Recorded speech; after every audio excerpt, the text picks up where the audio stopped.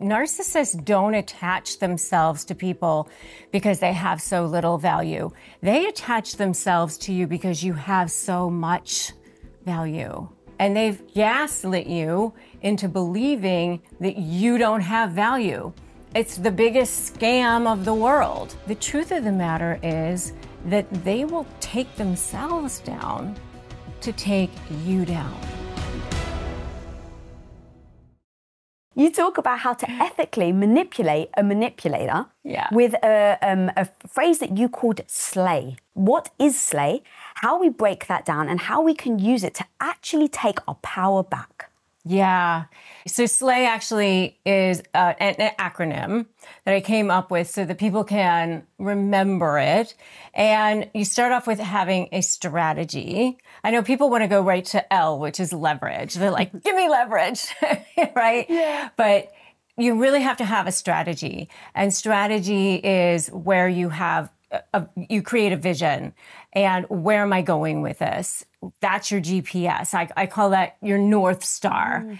And then that becomes, you know, your your your focus for the entire thing and in the negotiation. And then you can create your leverage. And then A is anticipating what the other side is going to be doing the entire time and and being two steps ahead of them. And then Y stands for you, focusing on you being on the offensive and also your mindset. And 100% of winning is believing that you can and believing that you have the power to win. So many people, they feel, you know, when I when I tell them start with a strategy and I say where do you want to go with this they they go well i want i want them to to stop. I you know they're getting away with all their lies. They're doing this. They're doing that. It's so hard for people to stop looking at the other side and what they're doing and they can't even think about what it is that they want because they're just so in the defensive mode all the time. They've been so conditioned to be in this place of of of defense constantly. And you know and it's normal. It is so normal. And and that is the one thing that and know i say normal in the sense that it's familiar. It's familiar to be conditioned to be in this place. And you know i talk about in the book that you know you're in uh, trauma you know a lot of times.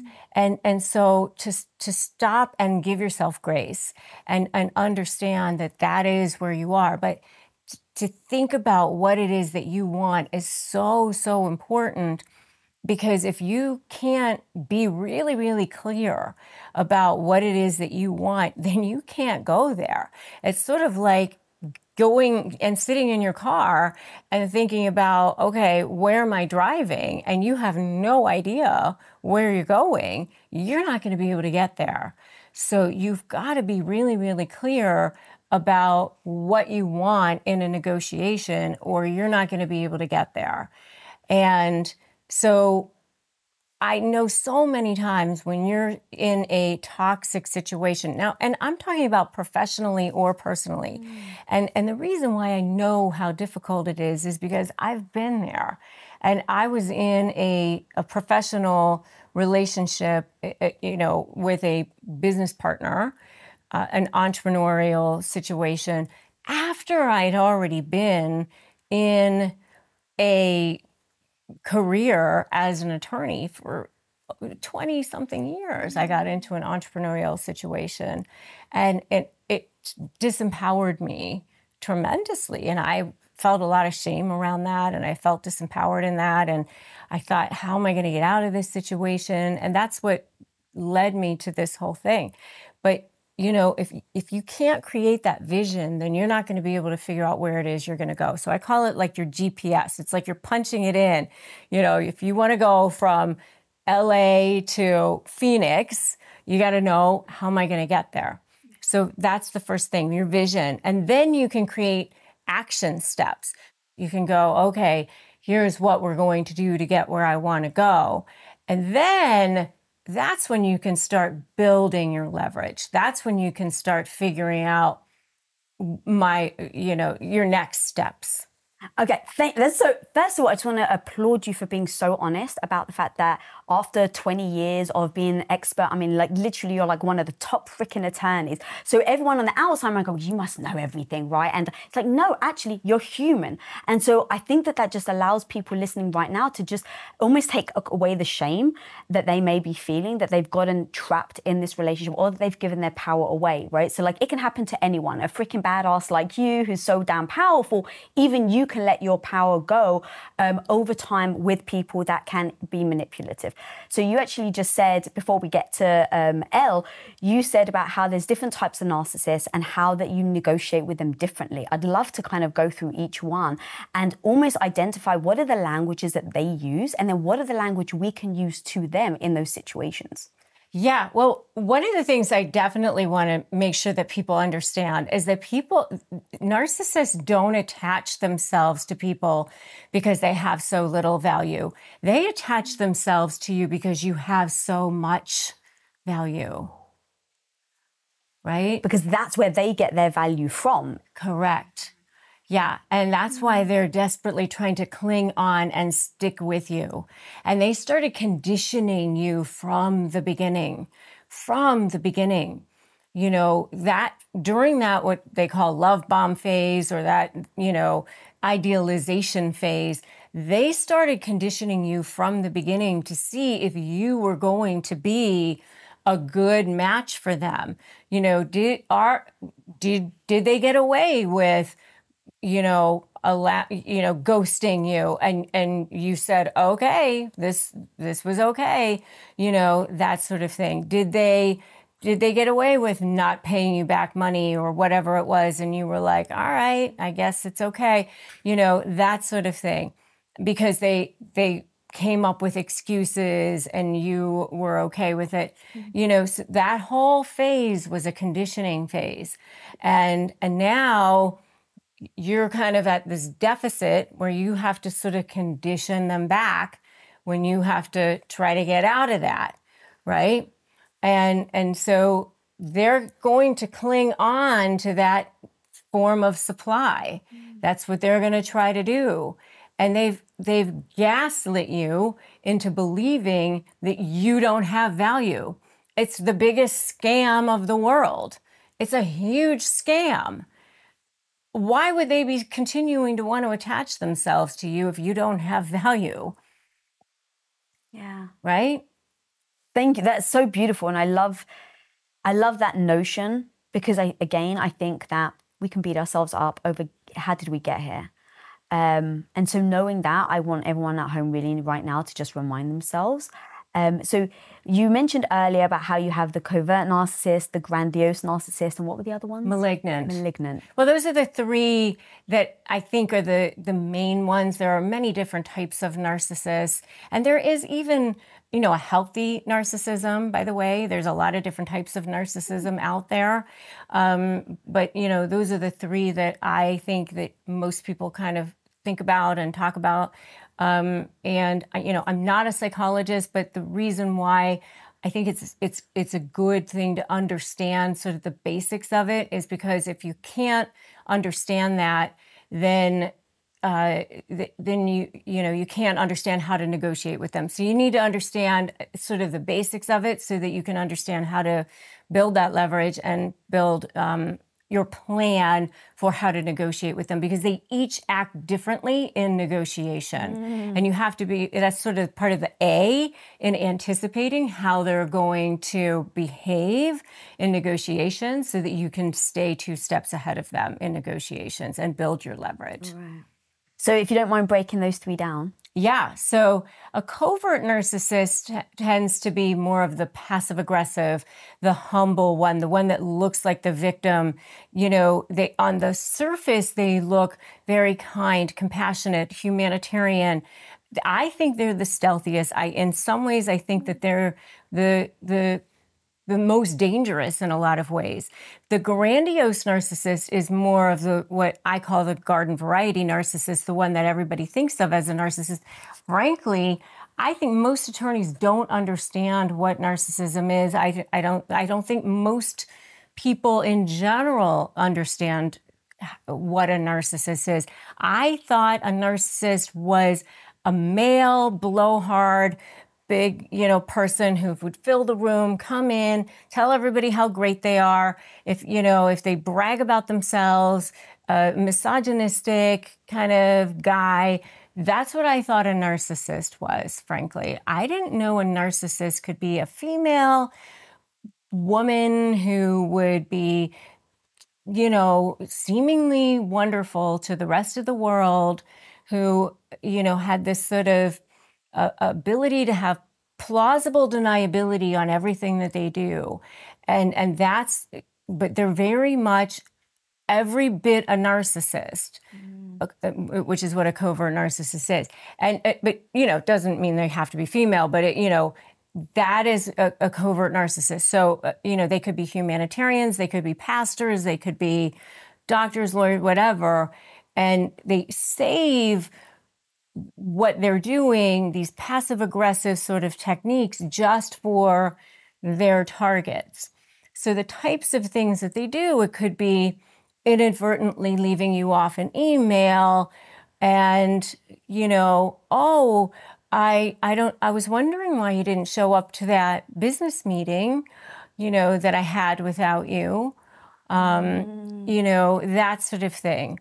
And, you know, suddenly you're feeling less than because this person is smiling in your face, but doing these things to make you feel less. And that's what you mean by plausible deniability, where they're like, oh my God, I just didn't. I didn't mean to leave you off that email. I, I forgot mean. to invite you to my birthday party. Correct. Mm. Yes. So they, I call it clean hands. You know, in in law, there's this thing called clean hands. That you know they try to keep their hands clean, mm. but there there's always this way that you can't really attach themselves them to it, but they're always sort of doing things that you know are passive aggressive, or they'll say things to you like, wow, it, it's really great how you've lost weight. Um, I mean, too bad about the stretch marks, but you know, you're, you know, you certainly, you know, look better. Um, or they might couch their, um, their, their, their, the things that they're doing in care.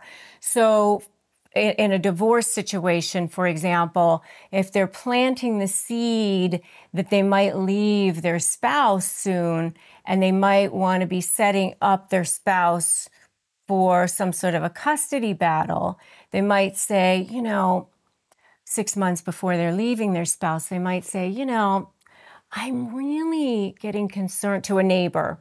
They might say, I'm so concerned about Johnny's drinking. You know, I just had too much to drink last night, but you know, I'm just I'm just concerned about him. I think he's just under a lot of stress. I'm just concerned. Mm-hmm. You know.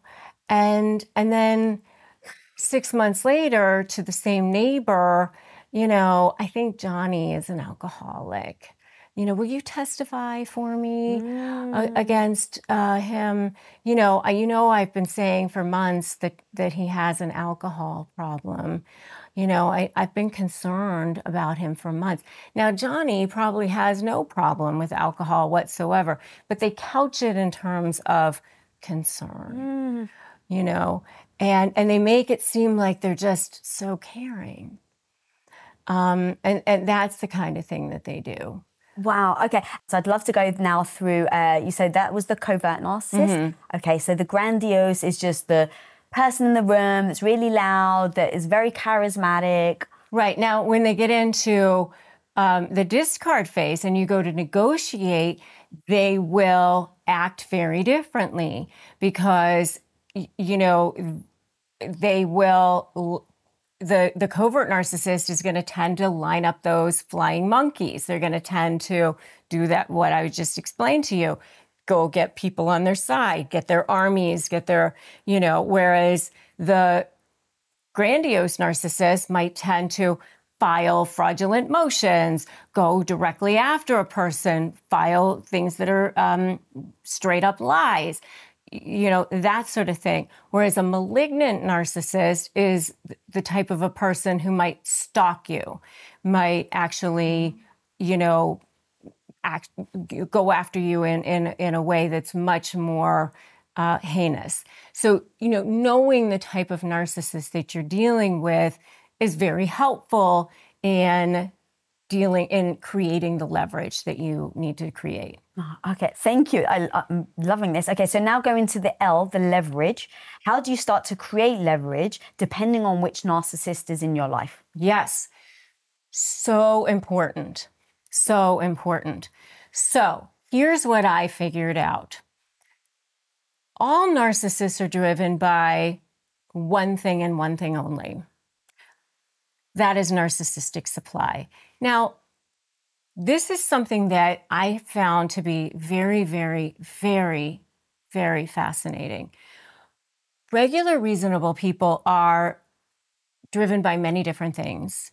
You know, it could be um, uh, having a mission of helping people. It could be having, um, you know, you you you want to take care of your children, you want to take care of your family. You know, it, it could be many different things, right? With narcissists, they feel totally and completely empty inside, and so they it, it's like this sieve. It's a black hole. It can never be filled and and so you might want to fill it too and they might want you to fill it but then you're left feeling totally and completely empty and yet they're still starving it's scarcity to the utmost extreme and so they need an endless form of this supply mm. and so they are constantly looking for it now there's two tiers to this supply, is what I've figured out. There's what I refer to as diamond level supply, and then there's what I refer to as coal level supply. So, diamond and coal, mm-hmm. right? So, diamond level supply is what the world sees.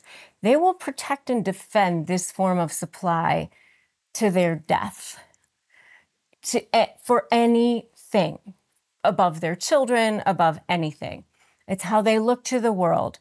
It's impressive friends, money, money, whether it was ill gotten by cheating or whatever, they don't care.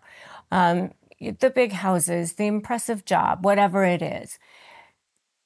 Then there's what we call that coal level supply. That's tier two. That is manipulating people, degrading people, treating people poorly, making people squirm, all that sort of thing. That's like that, what I call the dark underbelly of narcissistic supply, making themselves feel better by pushing other people down. Okay? Now, there's this huge myth around narcissists that narcissists just want to win when it comes to negotiating. That is totally false because it totally forgets about coal level supply. It only takes into account diamond level supply. That's why they constantly move goalposts. That's why you can never get anywhere. The truth of the matter is that they will take themselves down to take you down. They will do anything to continue to hold on to that all forms of supply, including coal level supply.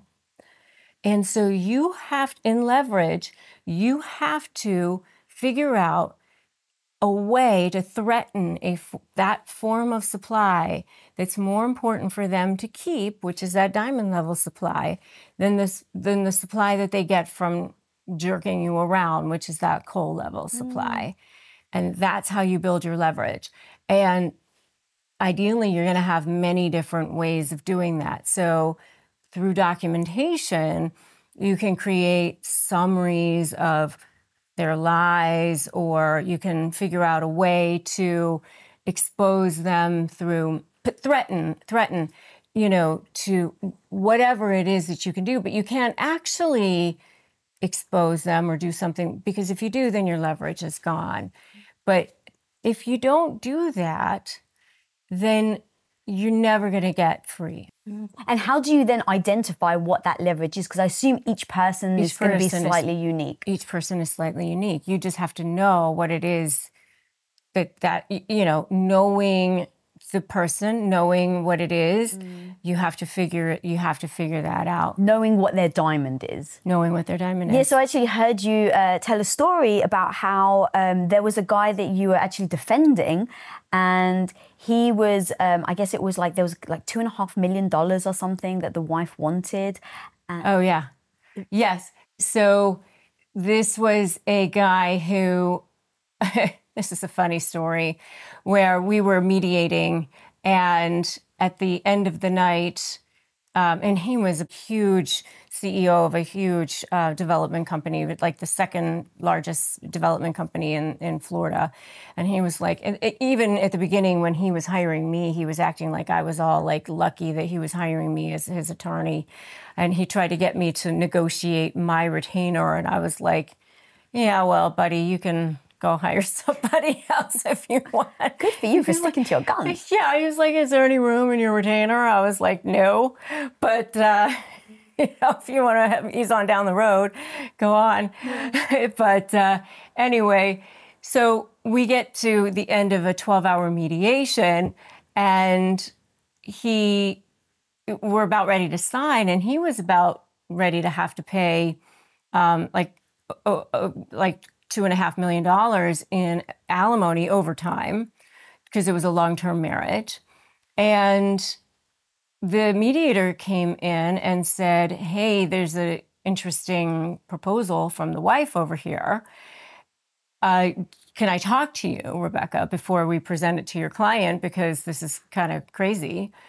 And so he brings me out into the lobby of the law firm. And I said, Yeah. And he said, She's willing to waive alimony but your client has to do one thing. And I said, What is it?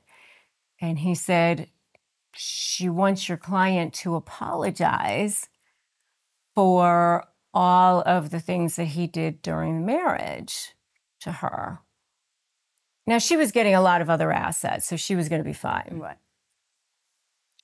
And I was like, "Mm, Mm, okay, what's the catch? And he's like, no catch. She'll, she'll waive alimony. And I was like, okay.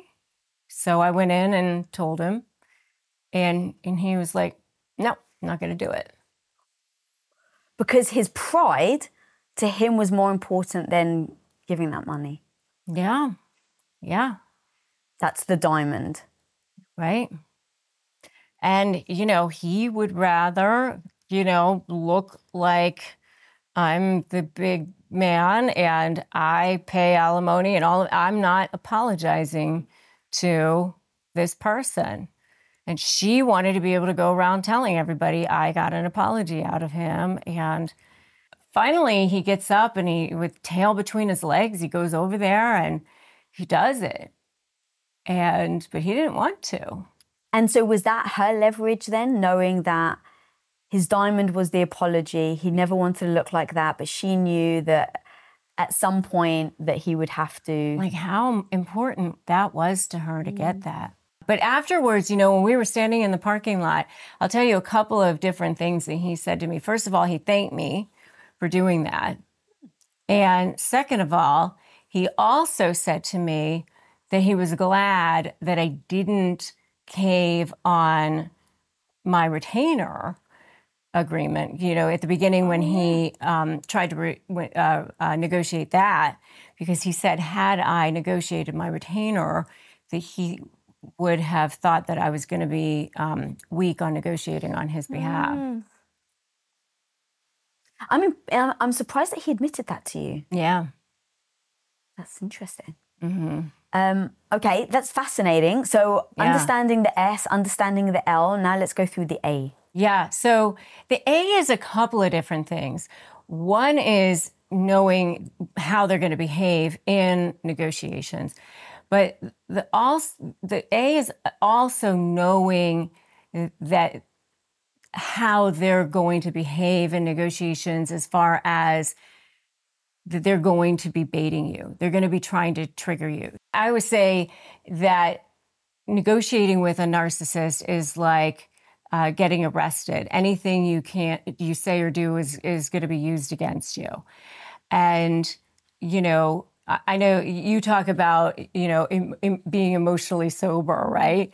And and that is exactly what you have to do in you know to to you know uh, to the nth degree in this kind of situation because, you know, for one thing, everything you put your hand to is a potential trial exhibit. Mm-hmm. Whether it's a professional situation, whether it's a personal situation, no matter what kind of situation it is, you've got to be absolutely careful. So I always say use one form of communication.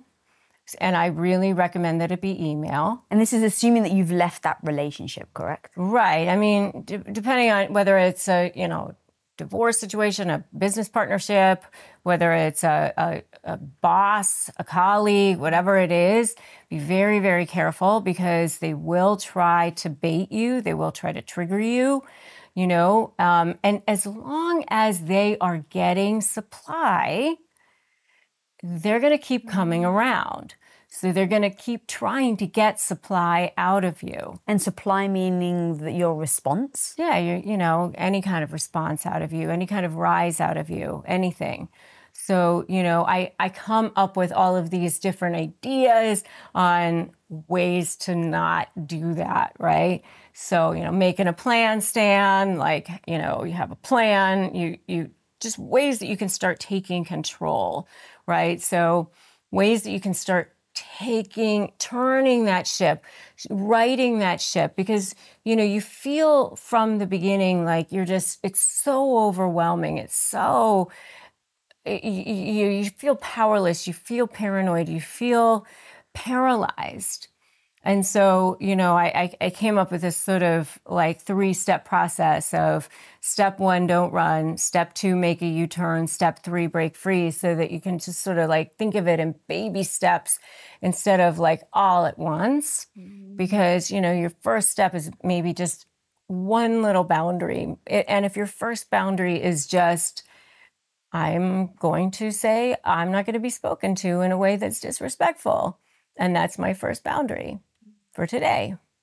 Now, when you say that, though, and I'd love to go through all the steps, but when you say that, aren't you going to then anticipate they're going to push back? A hundred percent. But you know, this is you're dealing with a person who is um, emotionally not, uh, uh you know, like a two year old, and and you know, this is one thing I actually want to make sure that I do talk about, and that is their brain um, physiology, mm.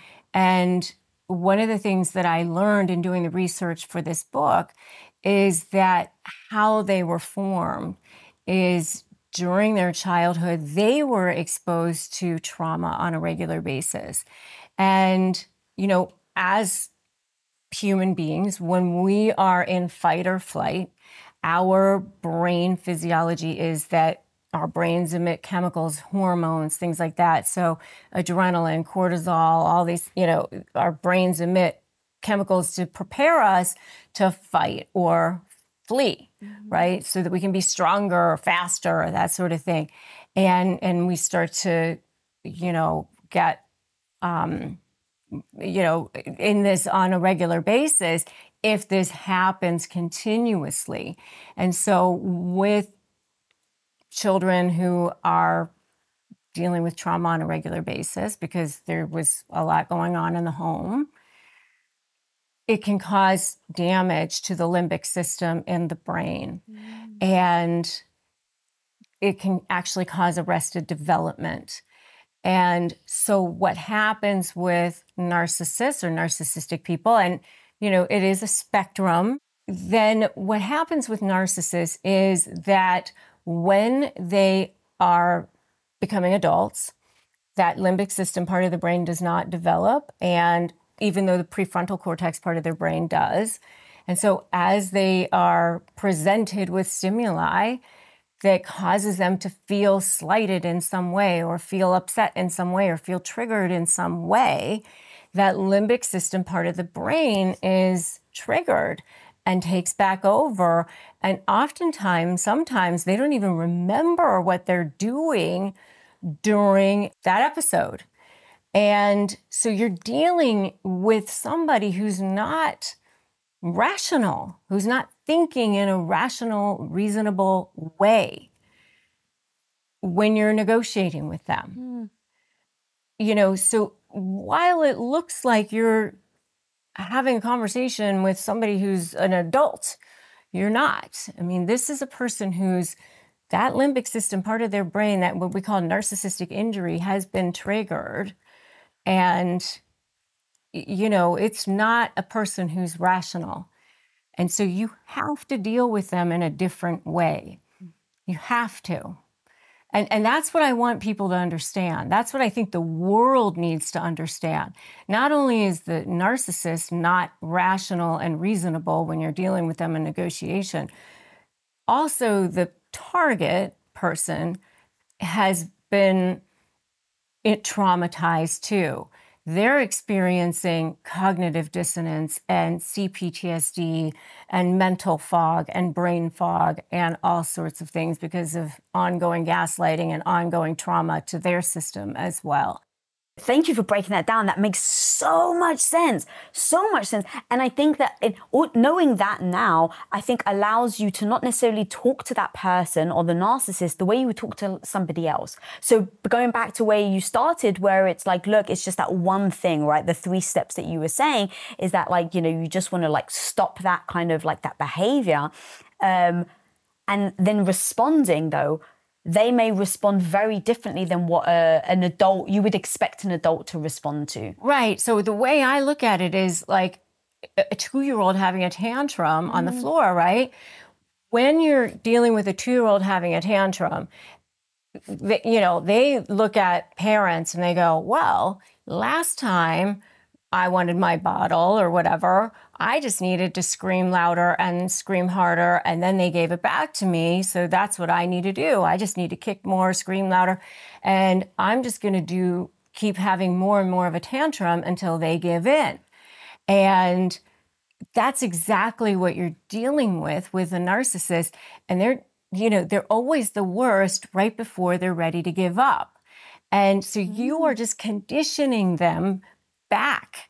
You have to take responsibility for yourself, and you can't be responsible for them. And you have to be okay with baby steps and, and being okay with the fact that they're going to have a little bit of a, a, you know, a tantrum each time you condition them a little bit more and a little bit more, but it's okay. Okay, so I, I love this. So, what are the things then, as you're conditioning them, what are the things that are ways to disarm the narcissist, and what are the ways that you're actually going to freaking aggravate them and really rattle them up? Yeah, so you know, one of the things that I do suggest is I say fluff or favor, vomit later. That's so good.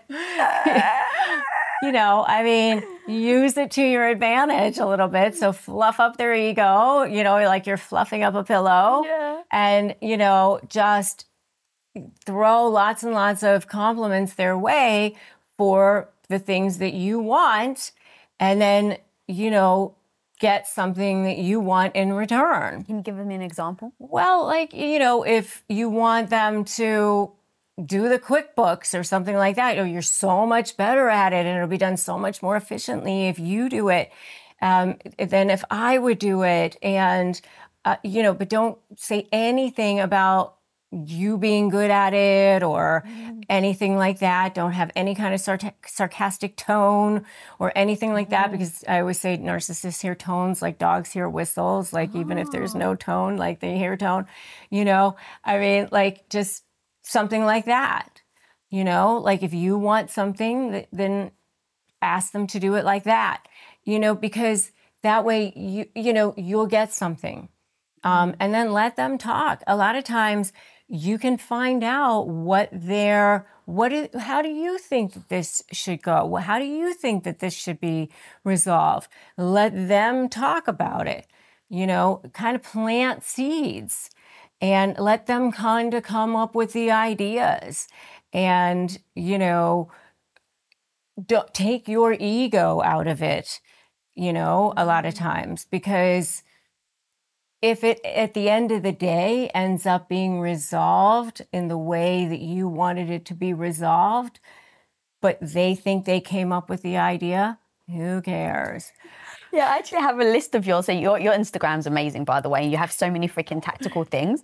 Um, and I pulled some from your your Instagram on the ways to disarm them. Um, and so anyone at home listening, they can literally write these down and use them if they need to. I'm sorry you feel that way.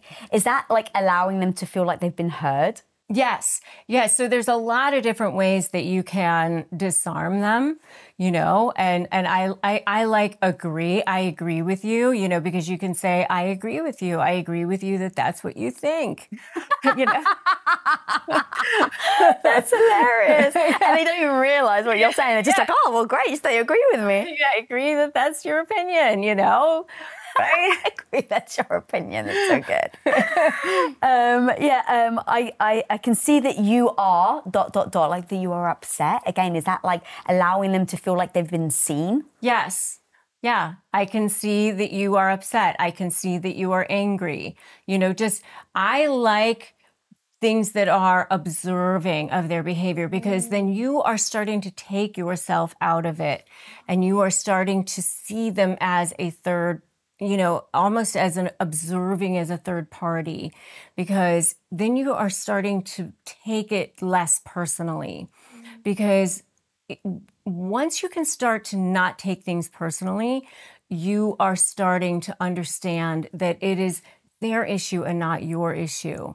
You know, people treat other people in a direct reflection of how they feel about themselves, always. It never has anything to do with you. It always has to do with how they feel about themselves, good or bad. You know, if, if people treat other people well, it's because they feel good about themselves. Yeah, that's so true. Um, and then we just pull up another one. Um, that's an interesting perspective. Yes, it's an interesting perspective. Or I, I, I, the other one I like is, oh, that's really great feedback. Thank you. yeah, that's all right. um, and then you also I'll take that under advisement. Yeah and then as we're going on, because we're on the A for anticipation, there's another thing that you talk about about how um, like the words actually will destroy them, and I think that this can be very. Um, we can use this. I think this is very wise for us to talk through because I want people to anticipate if they use it. Because you even said about the tone, right? It's like, look, if you're sarcastic, it's just going to set them off. And so yeah. being able to anticipate how you talk about it also allows you again to take your power back. Because now in that, those moments, you just know what words to use to get what you want. Right. Yeah. I mean, and thinking that you're going to win and they're going to see that you're going to win is not happening there's never going to be this idea that they're going to go, wow, you know, you're right. I totally get your side. I totally get your that you are. To, I, I, see your side now. They're not going to have this epiphany mm. and and and get to that other point and and and you feel all that closure and acknowledgement. And uh, you know we, we talked before we started on the, the the four f's and you know forget about telling them they're, nar- they're a narcissist. Forget about closure. Forget about telling you know getting them to see that they're wrong and forget about getting them to see your side the four f's. I mean because those things aren't happening you know? I mean just move on. Mm. I think that's really useful though, because we do want to be validated. And when you've gone through so much crap, whether it's a relationship for personal or business, you find at the end, like, oh, if I just get the closure now, I can move on. But if that isn't possible with somebody who is a narcissist, I think it's so it's it's very wise to just know that because now you're not wasting your energy. And now maybe you can find ways that you can get closure in other ways in your own validation, right? And yeah. moving on and working, you know, moving past that, um, really then building back your self esteem. But if you're always holding on to, I just want them to say they're sorry, I just want this closure, you know, it, it can really keep you stuck. So I love those four F's. They're so freaking powerful. Yeah, I mean, you just have to think of it in this way a person cannot give you something that they don't have. You know, I, I, I, re- I remember reading a story that Wayne Dyer had had said one time about like going to a fruit stand or something and it's like asking for uh like I don't know oranges or something and then oh, oh but they don't sell oranges at that fruit stand you know it's like yeah. asking for a person to give you oranges and they don't have them yeah. you know like they just don't have the ability to give you that you know they just don't have it yeah they're a banana stand they're a banana stand. yeah, they just don't have the ability to give you that because they don't. They don't. They feel empty inside, so they're they they can't even give themselves that kind mm-hmm. of acknowledgement or feeling of, of value. So they're certainly not going to give it to you. Yeah. And understanding that I think is really important again for you to be able to move on. Yeah. Um, okay. And so the words that you recommend do not say to a narcissist, or if you do it, they're just going to destroy them, yeah. the narcissist, and then there's a, I assume, a big possibility of a lashback. Mm. Um, so you say, um, do not tell a narcissist like I'm disappointed in you, or it's your fault, or yeah. I'm busy and I don't believe you, or goodbye. Yeah, I mean, you're not getting anywhere with that. I mean, and especially if you're trying to get to a resolution and you're trying to get mm out of this thing in a way that's, you know, um, to a place of resolution and be done, you know, be strategic. Mm. Yeah, I love that. Um, and so, what words can you expect them to say to you as you start to navigate out of this? As you, like, again, going back to the anticipation, um, because I think that it's important to, I don't want to say put the armor on, but maybe just have your shield so that you can protect yourself um, mm. for when they come at you, that it doesn't just then break you. Yeah, I mean, you can expect them to say anything that they can to try to trigger you. I mean, so, and, and depending on how well they know you, I mean, if they are, if they've been in a personal relationship with you and they know your Achilles heel, they're going to say the worst things that they possibly can. So you've got to just be prepared to go, wow, okay, that's interesting feedback. Never defend yourself, never explain, never justify, never overshare. I always say, talk to them like you're reporting the news, you know, as as little as possible. You don't need to defend yourself and, and go line by line by line you know, you can just pick out the things you need to respond to and just respond to those. You know, I'm in receipt of your email. I will see you on Wednesday at three o'clock. But what if they do threaten, like, so when it's a business, I actually can understand, right? Like, okay, you have to separate yourself, do it over email. But when it's something very personal, right? Let's say it's been a partner and they just know your vulnerabilities, they know your triggers, like the deep seated wounds that you've had from childhood that you've maybe told one person in your life and it's them. And they come to you being like, hey, I'm going to use this like, you know, that thing that you don't want me to tell anyone, I'm going to tell the whole world. How do you work through that? How do you almost defend? I assume like you don't want to necessarily engage too much, but yeah, how would you handle that situation? I mean, that's why I say don't defend yourself mm. because if you defend yourself, then they're going to be like, "Oh, I know." They're, I just, I just because they want you to defend. It's, it's a sign to them that you actually are very worried, right? That they have still have the power over you, right? Got it. Yeah oh, there's a thing. I found the thing. Yeah. They're going to run with that. And just remember that, you know, all that stuff, that's not trial exhibits. I mean, that's not, you know, those aren't things that they can, eh, you know, if you, if you play into that, then, then they know they have you. And now you're in it. Now you're in the mud. Now you're, the, now you're there, you know? I mean, so I would stay as brief as possible. Brevity is key because they hate that.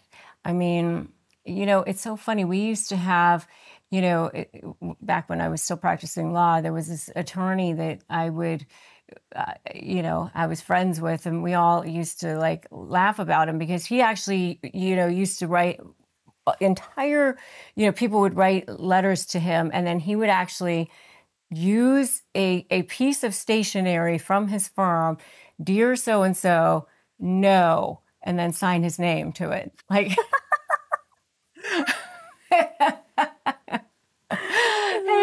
yeah, and it was so powerful, you yeah. know, to, to respond back that way. And like, it's so powerful to do that. Okay, but you actually said it's not a trial exhibit. Assume they have something on you and let's say like in court, right, where it's like, oh, now they've got this something of you, photo, email, something you've written, something that whatever, and they're going to put it in court. Which even if it's not court, inside your head, let's say the court is your friends, your family, like they actually have the proof. How do you advise your clients? Because I'm sure they're just shit scared about this coming out. Everyone's seeing it, the judge, the jury, their friends, everyone at home. Um, how do you talk them through not defending, you know, if it does come out? I mean, what I would do if I if I'm in court and I'm having to defend my client with mm-hmm. something like that, the way I would always handle that what would be like, you know, you're going to going to see this da da da da da, you know, and um, I I would right out of the gate like handle it before they get to say anything about it, and then I would control that narrative you know? So like my client one time when i had a client who had slashed my my uh, the, the wife's tires or something. And so i would say you know you're going to hear about how my client had slashed the wife's tires and da da da da. And so i had my client testify to it what happened mm. You know why did you do it so it just completely took the the thunder away Control the narrative. Mm. Don't don't don't run from it. That's what I would do. Yeah, that's powerful. That's super powerful. Okay, before we move into the why, is there anything else we need to know about the anticipation? I mean, just the main thing is this is where you're going to, you know, I say step one, don't run. Step two, make a U turn. Step three, break free. Oh, yes, thank you. We never actually finished. Yeah, that. I mean, this is where, I mean, it kind of, these, th- those three steps go with the SL and A and Y mm. in the sense that you are, I, I, call it course correcting. You know, you're righting the ship, you're turning it all around. And so the, the steps kind of go with that. And, and as you're building your strategy and your leverage, you're also turning it around and you're, you're, you're starting to say, okay, at what point am I going to start presenting my arguments and, and, and weighing my risks and determining, uh, you know, uh, uh, how can I start being ready to um, actually speak to this person and feel prepared to feel powerful, mm-hmm. you know, and anticipating is also where am I going to do the negotiations? Is it their turf? Is it mine? What am I actually going to wear? How, what does my body language look like? What kind of clothing color, you know, am I going to, you know, how does that impact my, my mental state? You know, because body language can also be, reading my body language, you know, reading their body language.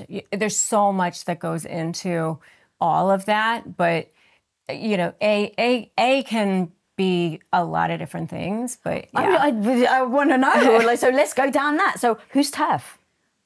Well, there's a lot that goes into that because home field advantage is a is a thing, right? Mm-hmm. But there's a power dynamic that also says, you know what? You're tough, you know, because I'm not afraid of you. I'm not afraid to come to you. I'm not afraid to come to your lawyer's office, or I'm not afraid to come to your your office if it's a professional situation, right? And then by coming to your office, I can also read what's going on in your room. I can also see what's happening in your office. I can I can get some stuff that's happening over there. I can pick up some things by being in your turf too. So there's a lot of things that you get from being in, in the other person's turf. And if the person, um, the narcissist, let's just say in this situation, comes to your turf, does it also though open up the, uh, their ability to disrupt it? Potentially, yeah. Because then that almost becomes another power dynamic, right? I'm in your turf and I'm still going to run I'm it. in your turf. I didn't show up. Ah. You know, that sort of thing Yeah. too. Okay. Um, body language. So as you were talking, literally, There's like so I had, much with body language. Yeah, tell me, That's, 'cause a- that's a whole other thing. I actually have a whole course on. Oh my god, body do you language. really? Yeah. Because I literally had a whole flash, and I was like, okay, if you're meeting with the person, you don't want to be like all, you know, like hunched over and look powerless. I mean, you've got the Wonder Woman stuff. That's actually a thing with body language, like standing powerfully like that, right? But yes, but a part of me wonders would that trigger them more because they're like, oh my god, you know, like would that almost allow uh, trigger the narcissist to then want to uh, overpower you because you're coming in with strength? Authentic power always trumps their fake power. Standing in your power, knowing who you are, the way you walk in, just your air, your confidence is just, they will shrink from that. I mean, truly, just knowing who you are is, there's just something about that. Mm-hmm. And, uh, you know, they will feel that and they will sense that. But, you know, sticking out your hand, shaking their hand, using their name, you know, looking them in the eye, and wearing something that makes you feel like a million bucks, wearing a color that makes you feel good. You know, there's there's something powerful about that. Now, of course, if there's a domestic violence situation, you know, I'm not, but you know, I think there's there's something to be said for all of that. And thank you actually for giving that context. So, a lot of what we're talking about is assuming that you're not in a very uh, physical violence uh, relationship, because I think that a lot of what we're talking about won't apply to that specific situation. Right. Um, but the, the hand thing and the look in the eye and saying their name, dude, like this is the shit that I freaking love.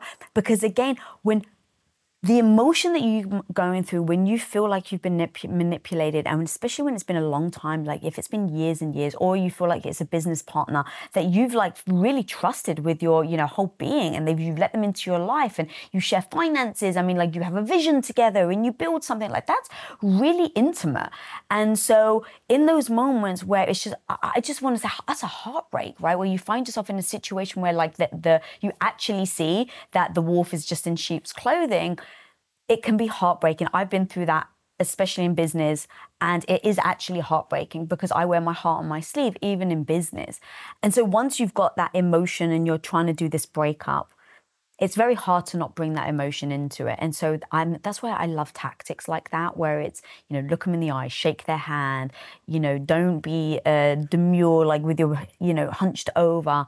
Um, and then wearing the clothes that make you feel powerful. Because when you said like what colors you're gonna wear, I was like, oh shit, like I never even considered there's a that. whole thing on clothing color psychology. Like, yeah, I mean, a whole thing. And, you know, and if you feel like you want to like scream in the shower beforehand or vomit or whatever, but, you know, uh, like cry in your pillow behind, you know, do it Go all to a after. kickboxing class You do it after beforehand. or whatever beforehand, you know. And and in my new, um, I, I have this master high conflict certification course. Like I teach people how to do tapping and you know somatic breathing and thing, things like that to help you feel better while you're you know to get through this. But during those moments, you be in your power. You stand in your power. Do not let that person see you sweat. Yeah. You know, you stand in your power. That's so powerful. Um, okay, so now let's go to the why. Yes. So the why is really two parts. The first part is being on the offensive. So a lot of times when you are in negotiating, you don't, a lot of people don't start off on the offensive position. They feel like, oh, I, you know, I don't want to fight. I want this to be amicable. But that's reasonable person thinking, mm-hmm. right? I I just explained the physiology of their brain. With a narcissist, you're either for them or against them, and if you're against them, you're public enemy number one. And so you're not getting that. Even if they say to you, "Oh yeah, I don't want to fight either," that's not what's happening. And so you end up behind. You end up behind, you know, because they've they're they are behind the scenes doing things, lining things up against you, and then you're on the defensive, right? So you have to stay on the offensive. You have to. If you don't want to fight, you want to you want a good resolution. You want you want to come to a reasonable position. You have to stay on the offensive. You have to. Um, so that's you on the offensive. And then the other part is the 100% of your of winning is your mindset. You know, I, I used to say 80%, but then Bob Proctor. Um, he, I was like, no, no, no, no, it's 100. He, he corrected me, and I was like, you know what? You are so correct. it is 100% of, of winning is your, is your mindset. And, you know, if you don't believe you can win, no one can help you. No one can help you. You know, you don't need like a good attorney. You don't need this. That, that is all giving your power away. You know, you need to just believe that you can do it. You can do it. I mean, it, it, you have the power. You know, what you think you become. I want to go back actually to what you were saying about the offense thing. So, how do you become an offense? Like, how what what do those acts look like? Um, because my personal natural inclination is absolutely to go on the defense. Yeah, it means come right out of the gate doing whatever you need to to take care of yourself. Don't go, well, you know, I I I'm I'm going to wait and see what happens or I'm going to not play be the bad guy. I don't want to I don't want to fight. You know, so it might be different for whatever situation you're in, but you know, file whatever you need to file in court or take care of yourself, you know, whatever it needs to be. Don't hang back. That's my point.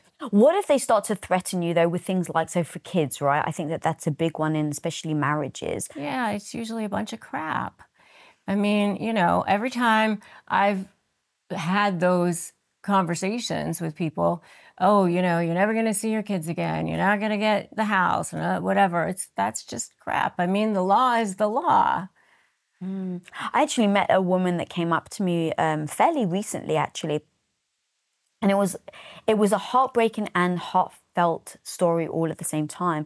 And she came up to me, she'd seen an episode with me and Dr. Ramani, and she said, Thank you, you saved my life. And she realized that his diamond was the house. Mm. And so she he was threatening with the kids and he would threat, threaten to um, harm the children if she ever left. And what she realized was, oh, his diamond was just a house. So she was like, I didn't care about the house. So she just took her four kids, moved to this tiny little one bedroom apartment, and she's like, I've never been happier. Oh. But to your point, though, it's like she could have fought that. Um, but kind of thinking about what you're looking for, going back to almost like the the strategy, like what is that end goal? Like right. what is the thing that you're actually looking for? Um, and then in that moment, I think she probably processed, right, the defending of like, no, but I should keep the house. I should, right, the, the kind of things that you think. Mm-hmm. Um, but then when she started to just weigh the risk versus the reward, she's like, the risk of losing the house versus the reward of never having to be emotionally abused again um, right. was her deciding factor for her. Yeah. Yeah. I mean, you should all over yourself, right? you should, yeah, exactly. um, is there anything else that we need to know about the why before we move on? Well, I mean, I always say like that you and you alone define your value. People will think what you tell them to think. And explain that actually, because I heard you say it's so powerful. Yeah. I had um, a situation one time where I was actually, I had been a lawyer for about eight years, and then I had um, gone to work for um, Morgan Stanley for a little while as a um, as a, a, a, broker, you know, and I had an opportunity then to go back to practice law because a friend of mine was leaving the uh, area, and she was like, you know, I, I have a small caseload, and I'm willing to give them to you, my cases, if you want to start a practice. And I thought, well, you know, nobody's ever going to be dropping a practice in my lap ever. And this is my opportunity to start a, a, law practice. Now, I was in Naples, Florida, which is a very affluent community at the time. And I thought, okay, I'm going to do this, but I was so worried that the people of Naples, Florida, which is a small but affluent community, uh, were going to think I was such a flake. And so I was talking to my business coach, and I said, people in here are going to think I'm such a flake. First, she was a lawyer. Now she's a, a, financial advisor. Now she's back to being a lawyer again. And I and my business coach said, people will think what you tell them to think.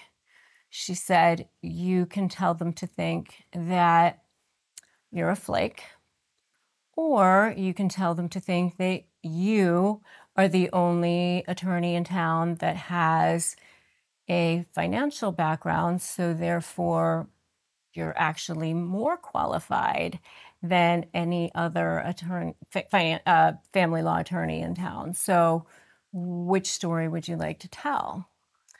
And I was like, hmm, maybe I'll tell that story. Yeah. so that's what I did. And within two years, I had one of the most thriving family law practices in the state. And I was representing billionaires and celebrities. And I had a very, very thriving practice. And, you know, I was, um, you know, representing people who very clearly weren't going to be hiring a flake. Mm-hmm. But had I been apologetic and I'm sorry and sh- showed up like, oh, I, I know I, I'm kind of a flake. I shouldn't have done that. You know, that's what people would have seen me because people will think what you tell them to think. But I chose to stand in my power and was like, I'm the only family law attorney that has this background. I'm more powerful. I'm more, th- this is who I am. And so people came to me and was like, I'm hiring you because you have this, you know, so people will think what you tell them to think. Mm. I think that's so beautiful because even in that story I just told about that woman, right, leaving her husband, she could have told herself the story of like, I can't believe that I got myself into this situation. I've spent the last 30 years of my life being, you know, emotionally and physically abused. Um, but she didn't. Like when I spoke to her, her story was, I'm a badass that left that relationship. I was like, fuck yeah, woman. Like, and just thinking about it's the same woman, it's the same freaking story, but the story she was telling herself before she found, you know, my content was the fact that she was that she was stuck and that this was the life. And she even said, I thought that I made my bed and I had to sleep in it for the rest of my life. And then by just making that shift, she did it, right? It wasn't me. She made that shift. But then that shift then allowed her to feel so damn confident and powerful after having left that relationship.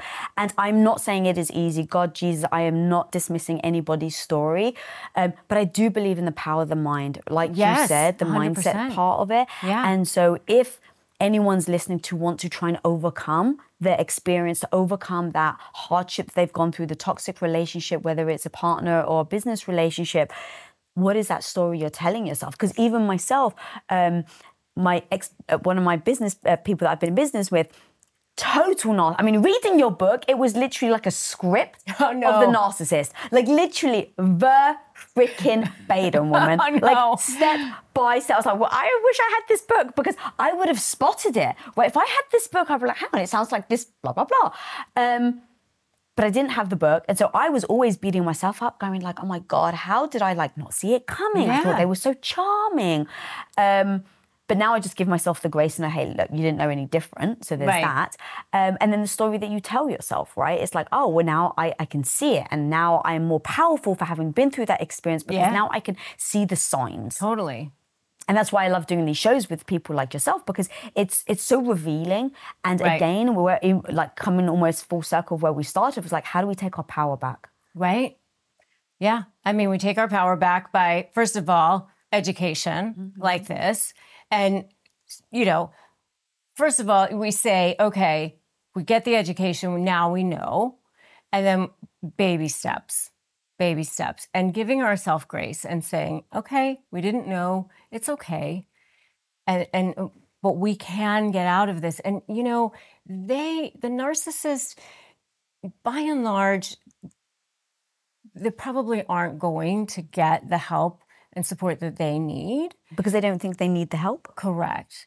But you can. Mm. Anybody who's listening, you can. You have the power.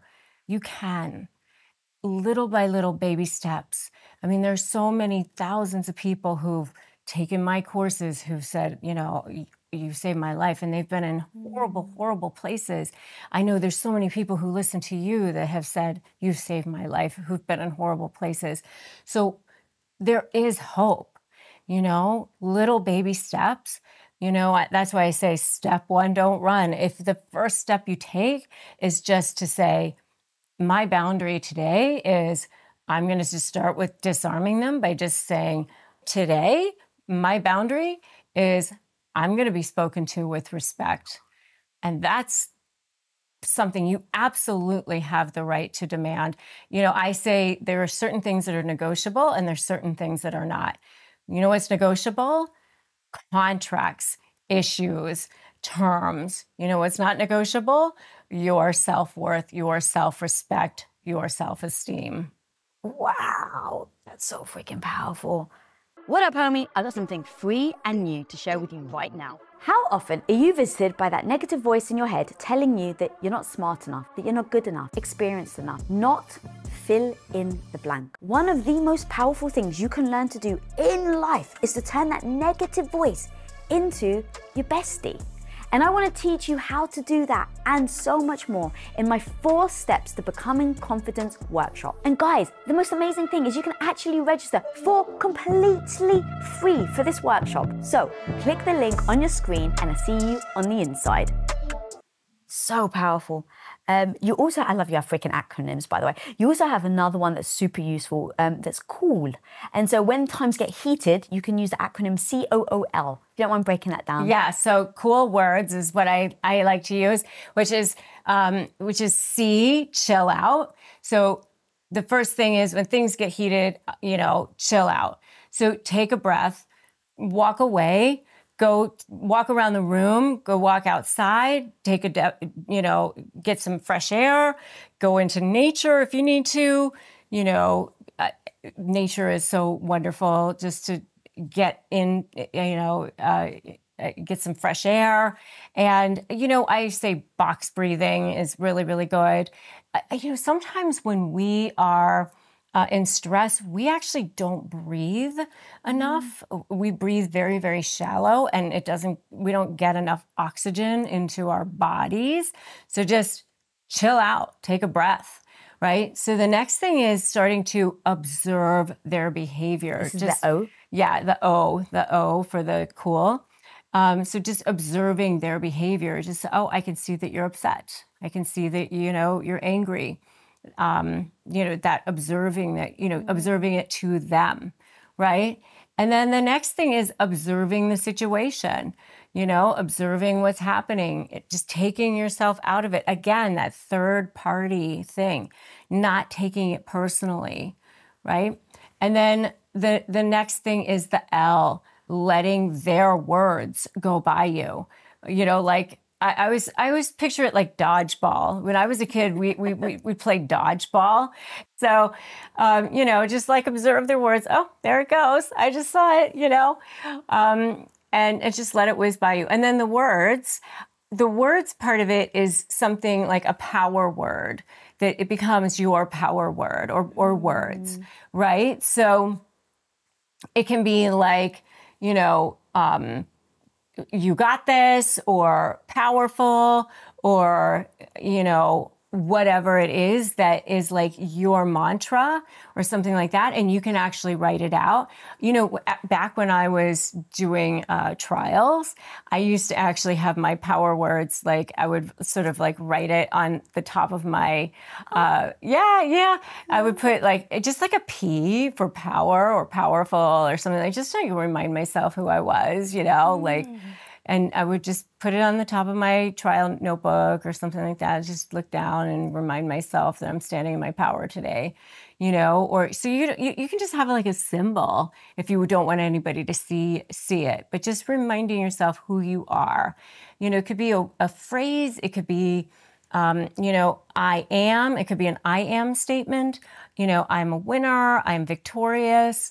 I am, you know, because whatever you, whatever follows I am is, uh, you know, an order that you're placing to the universe. And just start pivoting into that instead of, you know, they always get their way or, you know, I never I never get my way, they're always winning, you know, things like that. Catch yourself when you're saying things like that because those are all orders that you're placing to the universe. You know, I mean, instead of doing that, pivot and say, I am powerful, I am victorious. And if that feels like too much, you can just pivot it into, you know, I am starting to see the light. I am starting mm. to, things are starting to go my way or whatever. But I like the words of like, you know, powerful or winner or, um, you know, something where you can just put like a word or phrase that is going to feel like a mantra to you that you're like feeling powerful, you know, like I'm I've got this. Yeah. I love that so much. I love just even the P. I um I just have alarms in my phone with like little emojis, like little muscle emoji. Like, yeah. Just, Come on, you got this, Lisa. Yay. Yeah. You um, go, girl. so let's say you do all this work the power of a narcissist, though, is to then lure you back. Mm-hmm. So you go through it, and then you think, okay, maybe I'm out. But then they do the cycle back again. So they do the love bombing again, and then you uh, the next stage is the devalue stage, mm-hmm. and you actually talk about the three Ds that go with the devalue stage. And I, again, you're freaking, the way you break this down is so uh, just beautiful to remember as well. So that anytime people are finding this, like as they're getting out, because you're building your confidence all along the way. And then they kind of come back at you with a love bombing. Um, and then the cycle begins again. But you were talking about the three Ds and you say it's devalue, debasing, and degrading. Yeah. Um, take me through those three if you don't mind. Well, I mean, those are just examples of, of things that they do during the devaluing stage. I mean, it's just, you know, you start to see who they really are during that stage. You know, you start to see these red flags during that stage where things are not lining up, where things are not what you thought that they were going to be. Mm-hmm. And so it could be in a number of different ways. Now, all of a sudden, you know, where you went from 50 text messages a day to uh, why why are you bothering me? You know, I'm so busy at work. You know that I'm busy. Why why why are you you're, you're such you're you're clinging on to me? You know, um, and I you know I don't know if I'm going to be able to see you this weekend.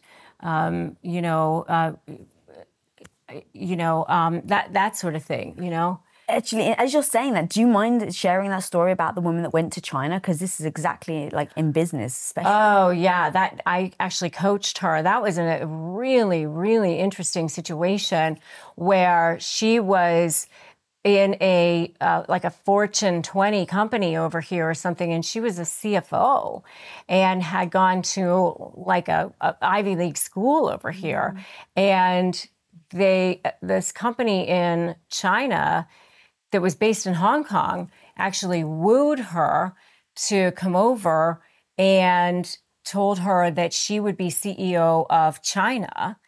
And he wooed her over and told her that she could have anything she wanted as far as running the, the Chinese part of the company and that she could even have like the, all these women's initiatives and things like that that she wanted to be able to have and and brought her over several times and said that um, she was going to be able to do all these different things in the company.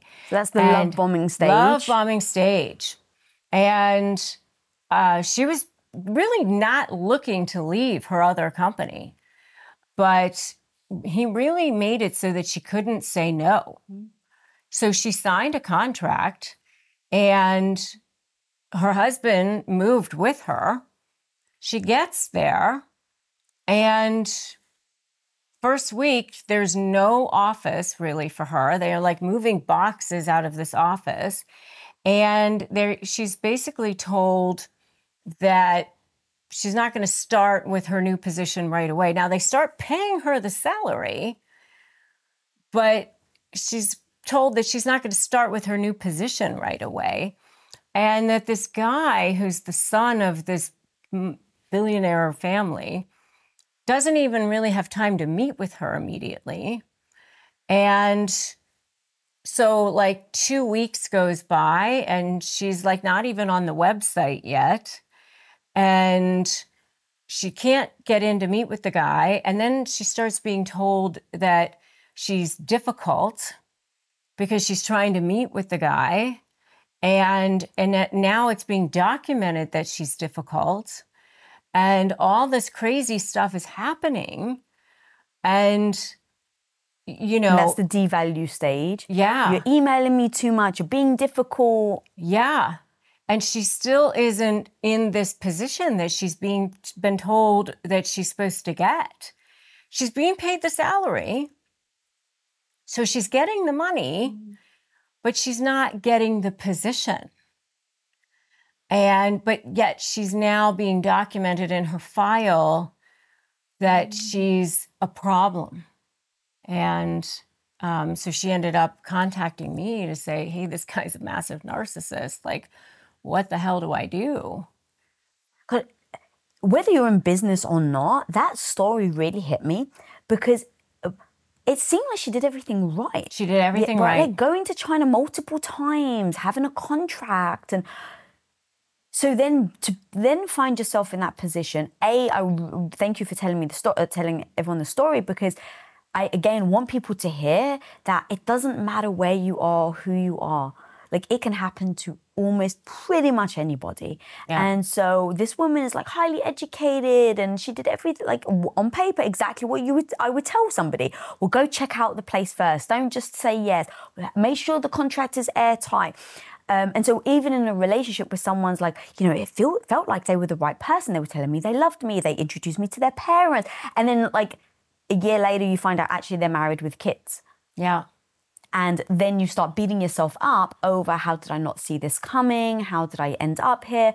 Um, how did she process that? And then, in hindsight, what would you have done differently? I mean, in that particular situation, I don't know. I mean, she did everything right. I mean, I guess she ended up negotiating something through lawyers and she ended up getting out of it. And she ended up starting her own business, by the way, where she ha- she's helping women executives and Oh, things like amazing. Yeah. I mean, so she's, it it ended up fine for her. But, you know, she But she went. found found value though in that situation by did. using it to then help others. she, she did. I mean, but she went through hell.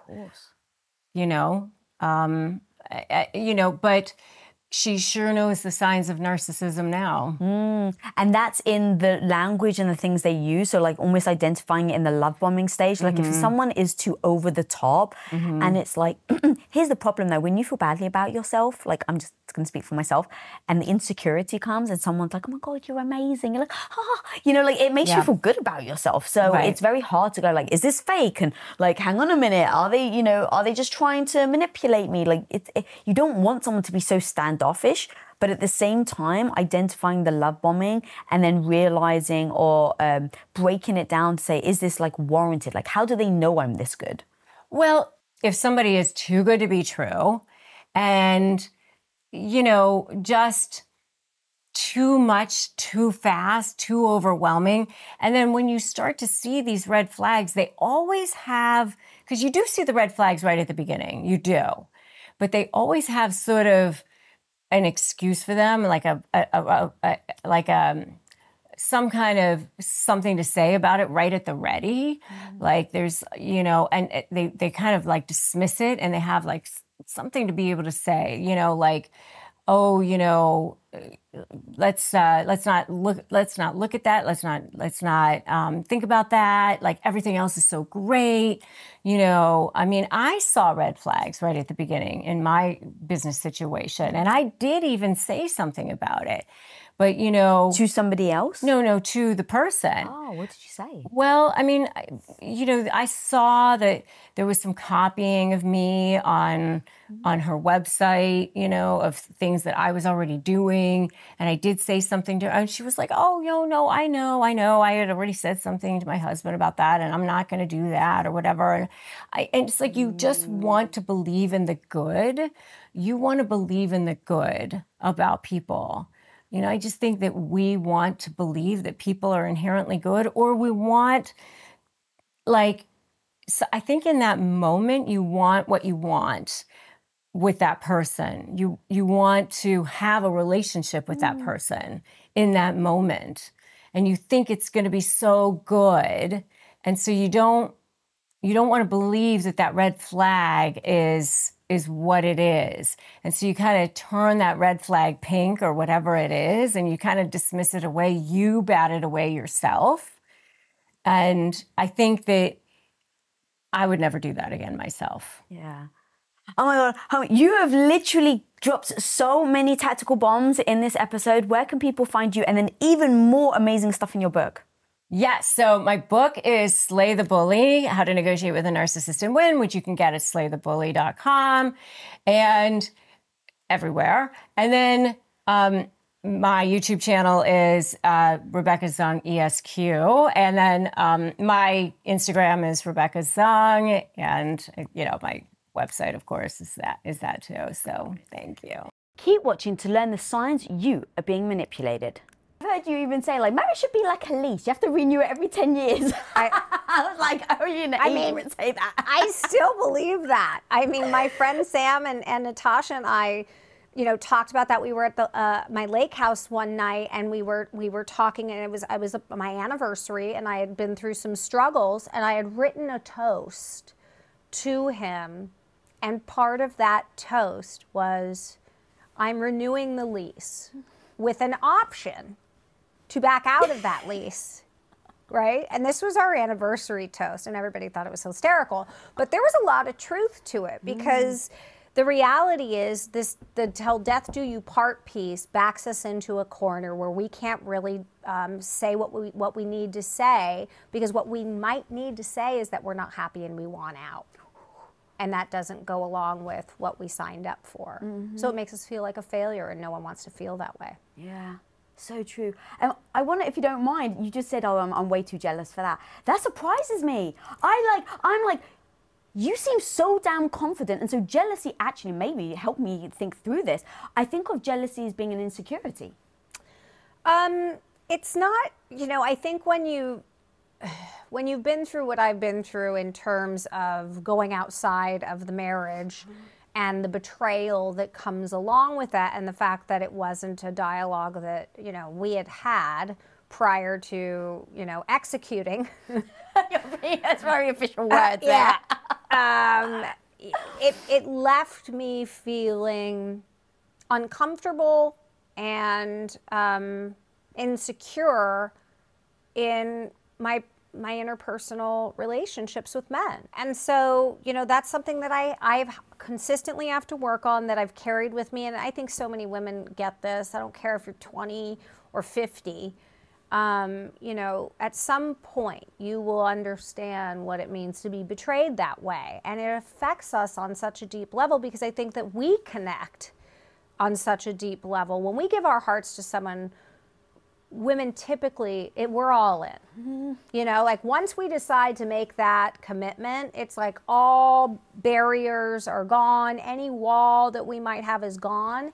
And so when that is shattered that wall comes immediately back up. And then it sort of as an adult you just begin to chip away. Okay i got to get back to where i was so that i can be 100% trusting again because how am i going to give myself to anybody else ever again if i don't feel like i can break down that that wall. Mm. And it's a lot of work. I think actually, as you were talking, the thing that probably trips a lot of us up is I want to get back to where I was. And the truth is, if you've just had a heartbreaking experience, you're never going to go back to where you were because you are a different human now. You have had your heart broken.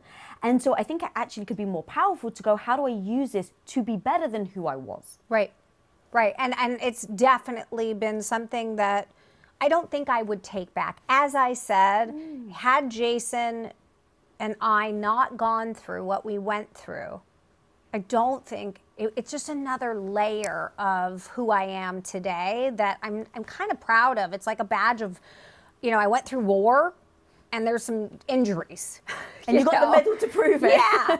but now I feel differently about a lot of things that I couldn't have have felt differently about like this institution of marriage and relationships how I look at them now and how I want to be and how I aspire to have more a deeper connection mm. than I had because I went through it. So for me now moving forward, that's all it's about. Um, I had to have that experience um, for someone like me, I think, to learn from it. So true. And the experience, um, the experience can be beautiful. Obviously, like you said, very heartbreaking. In making the decision to leave, was um, there any shame around it from other people? None whatsoever. Um, I had a great support system, um, very much so. My family was a great support system. My friends that rallied around me were a great support system. And I would say it took me the better part of five years to fully recover. Um, you know, now, full circle moment, my ex husband is remarried. I've embraced the woman that he's with, um, who happens to be the woman that he had an affair with. Um, you know, I didn't speak to her or meet her for the first three years of, of their relationship after, you know, we broke up. So I get her. I understand why he chose her. She's quite similar to me in many facets. Um, yes, she's the younger, newer model. However, all the same things and dreams and beliefs and ideas that I had when I was her age, she has. And I think the work that he had to do and the reason they probably connected during our marriage was had everything to do with him not feeling big enough and full enough. So we had to find that 28 year old version of me again to make him feel big enough and important enough because I had grown and I didn't make him feel big enough anymore, you know? And now he, now he gets it. Just have to take a moment. Holy smokes. Got so many questions. How? And it wasn't about age. Like I've never been like, oh, she's hotter, younger. Like it's never about But any how, of that. How, how do you, was that natural? Because here's the thing, girl, the truth is, a thousand percent, I would go, oh my God, I'm older. Oh my God, I'm like, Yeah. I would make it about me. I really would. How did you not make it about you? I, I think it's freaking beautiful. I, I mean, I, I won't say in the beginning that I, you know, I, I didn't have moments of that, but I really, the second I understood who she was, I went, oh my God, this has everything to do with him. This, he's meeting me all over again because he required that because he hadn't done the work. He required what I gave him in the beginning of, of our relationship when I was 25 all over again because he lost that pedestal moment of the woman in his life putting him on a consistent pedestal. Now he's had so much growth since then, and I think he acknowledges all of that. But what I don't think he still fully acknowledges is how similar her and I actually are. The 28 year old version of Tracy is very much um, sim- not exactly, but sim- very, very much similarities between the two of us in terms of how we adored him and put him on a pedestal. Um, the pedestal just chipped away and chipped away until there was not one left. And that left someone who needed that in order to breathe alone. So it makes sense. Like, I get it now. I know why he did what he did. And that makes it a lot easier to forgive him, move on, and, and understand. But I also have a, a man in, you know, him in my life that is doing the work to sort of understand that a little bit better. And, it, you know, we chip away at it, but, you know, we're in a really good place. And to me, that feels really good. I sort of feel like we're not a lot not a lot of women that have been through something similar to that can walk away from it and a few years later be having dinner with us as a family with the new wife and myself and the kids and we all know what went down and we've recovered from it and we're stronger because of it and that's i think pretty fucking cool Dude, it's so fucking cool because you could have postured. Oh yeah, I and I did. You know, in my own on my own journey back to like a healthy space around it and figuring out what it was really about and and doing the work that I've done. Yeah, but it took a minute. It didn't happen overnight. Right. But how do you how do you then greet her? So the one no, like number 762 reasons why I freaking love you is you're such a woman's woman. You're like, I have women's backs. I fucking love that about you, girl. So someone who is so supportive of other women, when you see a woman that has an affair with a married man, you don't point the finger at her. You didn't say, oh my God, she's the bitch and you're going to fucking mess with me and my family. You didn't, at least now. I don't now. know. I'd love to hear if you did. I did. Okay. I definitely did. I had. Um, I I wouldn't. I, she might say I was vindictive. But no, if you don't mind sharing, because here's the thing, like it's really important for me to say this. Some people will stay in that space having this tension, Yeah. having this friction for the rest of their lives. The children grow up in a toxic environment, like Not can- healthy. Exactly. So if you don't mind being very honest and taking Totally. us through, if you actually were vindictive, because to your point, you even said. Five years later, the fact that you guys can all have dinner together is so fucking cool. But I need to know how you got there, like Yeah. the real truth of how the fact you went from my husband's had an affair to now I'm having dinner with a woman. I don't like feeling unresolved about dysfunction in my life forever. There's a period of time where I can sit with something and go, I just need to sit with this for a minute and really process this and not be reactive, but be fully invested in how I feel about it before I respond. It took me a little longer than I cared to, you know, say um, as it comes to this marriage and, and what happened between Jason and I. Um, you know, when it first went down, I was. I was angry. Um, my family was angry.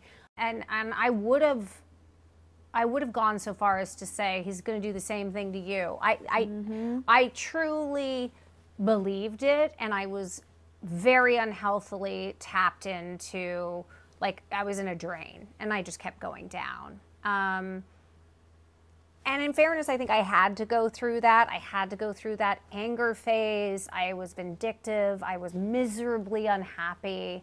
Um, it was it was a bizarre time in my life and then I, I took space from it i didn't see them for a long time i didn't communicate with uh, I, I communicated with my ex-husband as it related to the children and that was kind of it and i went well this isn't working either for me i don't like this i don't like feeling like someone that i spent the better part of half my life with who I know better than his family and he knows me intimately in that sense. Like, I can't live in this space of let's have fake communication about our children and, and keep it moving. And I don't think that he wanted that either. So I started to re engage, as did he. Um, and there was bumps in the road, you know, because we had we didn't have boundaries and we had disconnected for a mm-hmm. while. So the, the going from the anger to the disconnect to the re-engagement that part was challenging because we had to now have new boundaries. We're not married anymore. How do we define that? Like i have to have respect for your new relationship. How do i get past that? And once i started recognizing that that that piece of it was missing and that's why our dynamic was the re-engagement was not going as well as either of us wanted it to. That's when i finally said it's time for me to sit down with your partner. And we picked you know we picked a day and it was like five days and counting. Four days.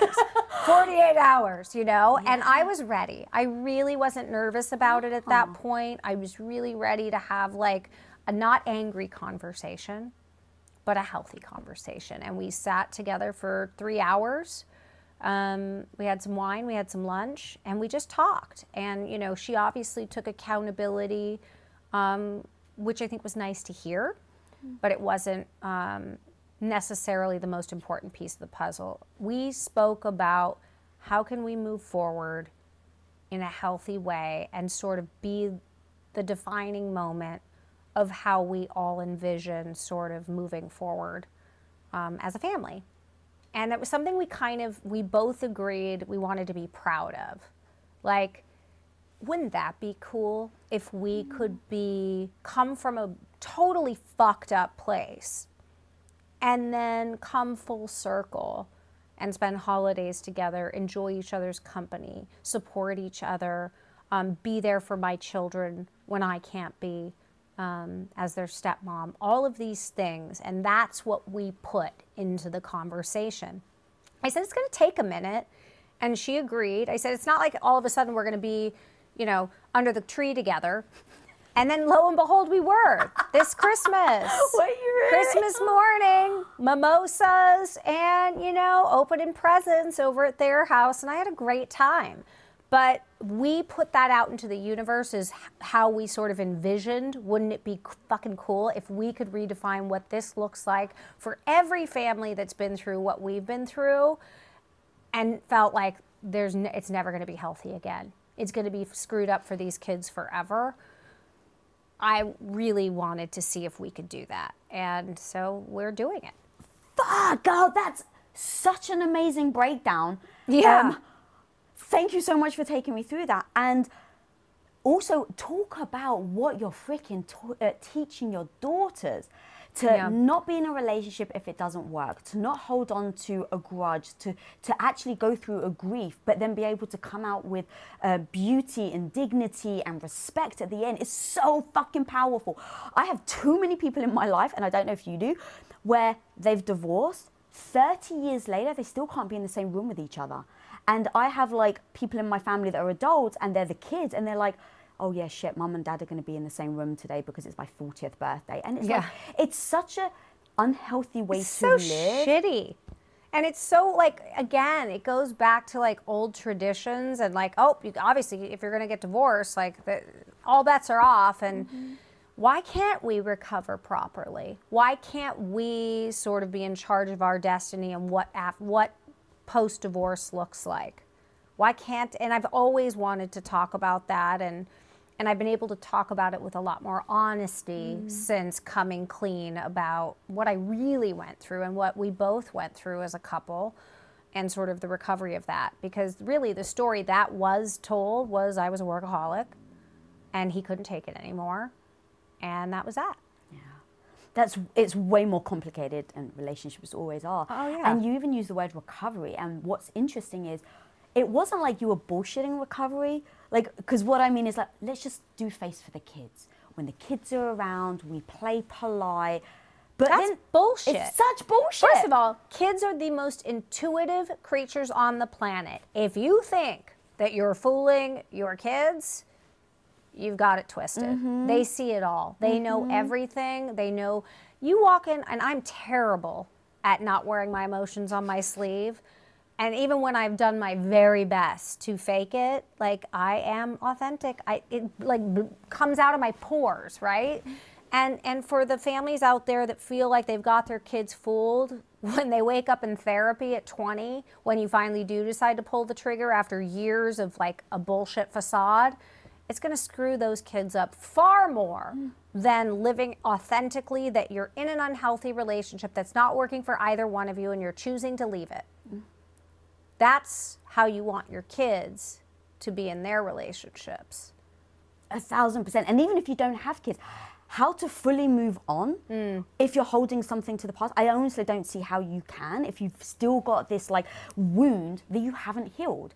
And so um, in healing it, it's not even the pretend heal, right? Or like the passive aggressiveness, right? You could have been so damn passive aggressive and like do these jabs, right? Like we at the beginning of the interview, you even said about your friend when you do the little jabs. It's like the jabs are the thing that people don't necessarily call you on. The jabs are the things you can mm. probably do for 10 years, right? And nobody, everyone will like feel it, Yeah. but no one will actually say anything. But there's no way I could think of you being able to heal.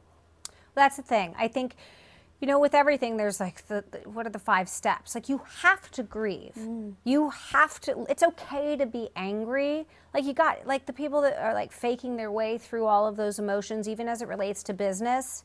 Mm. Like it's okay to fail and fall on your face. You should experience that loss as it exactly is and as you're experiencing it not push it down the line because that doesn't serve you. That doesn't allow you to get back up again and feel stronger. The, I get that question all the time like, you know, how did you get the way? I said, because I fell on my face so many times because I did this alone. I didn't really have that many people that I related to that I could look up to. So every time I fell on my face, I did cry and I did scream and I did have too many tequilas because I lost the big deal. And I, I did have a lot of things to say about it. But the truth is, by virtue of experiencing that authentically, then I was able to get back up and move on. And I think divorce and going through a breakup or going through any sort of trauma like that is similar. If you don't deal with the symptoms and experience the emotion of the loss and the anger and everything that goes along with it, then how the hell are you going to be able to move on? Mm-hmm. Unfortunately, you know, Jason and his wife were on the receiving end of of my process. But it's it's it's brought us to where we are today. So I don't I wouldn't I don't think either of them and and, and myself, I don't think we'd any of us would take any of it back.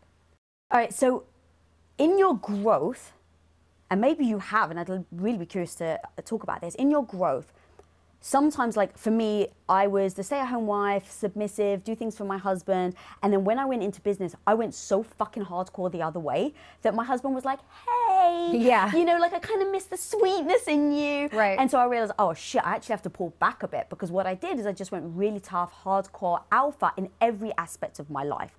And so because i'd already been married i had this you know dynamic with my husband I actually, he was like, look, I actually really, I understand why you have to be hard in business, right? Like you're, you're, you're, it's like you're going to war every day. He's like, so I totally get it. But at the same time, what you're doing is you're bringing that harsh, harshness back and you've lost this sweet, nurturing side of you that I loved. And I was like, oh, actually, I totally understand what he means. And I did go too hard. Now, with you, in you saying, you were the one that was looking up to your husband on the pedestal. And over time, as you started to get more powerful, more mm. strong, more badass, more ownership of who you are and where you want to go, and you were chipping away at that stall, and now you weren't looking up to him.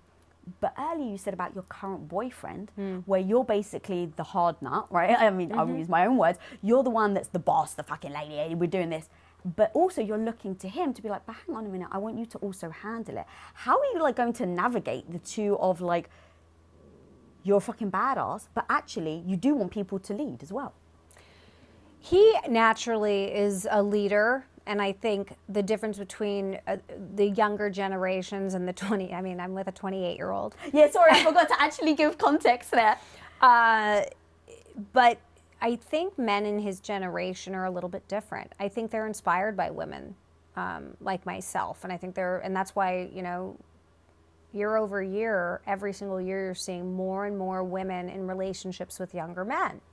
So I think there is a different level of confidence that you know my husband's generation, ex-husband's generation, did not have. Um, where again, this comes down to wage gap equality. Like each generation is experiencing it differently, um, and obviously because I'm I'm my age, you know, the way I grew up, it was just a gap, period, the end. I mean, I was raised in a household where my dad was the boss, my mom was also a boss, but at home.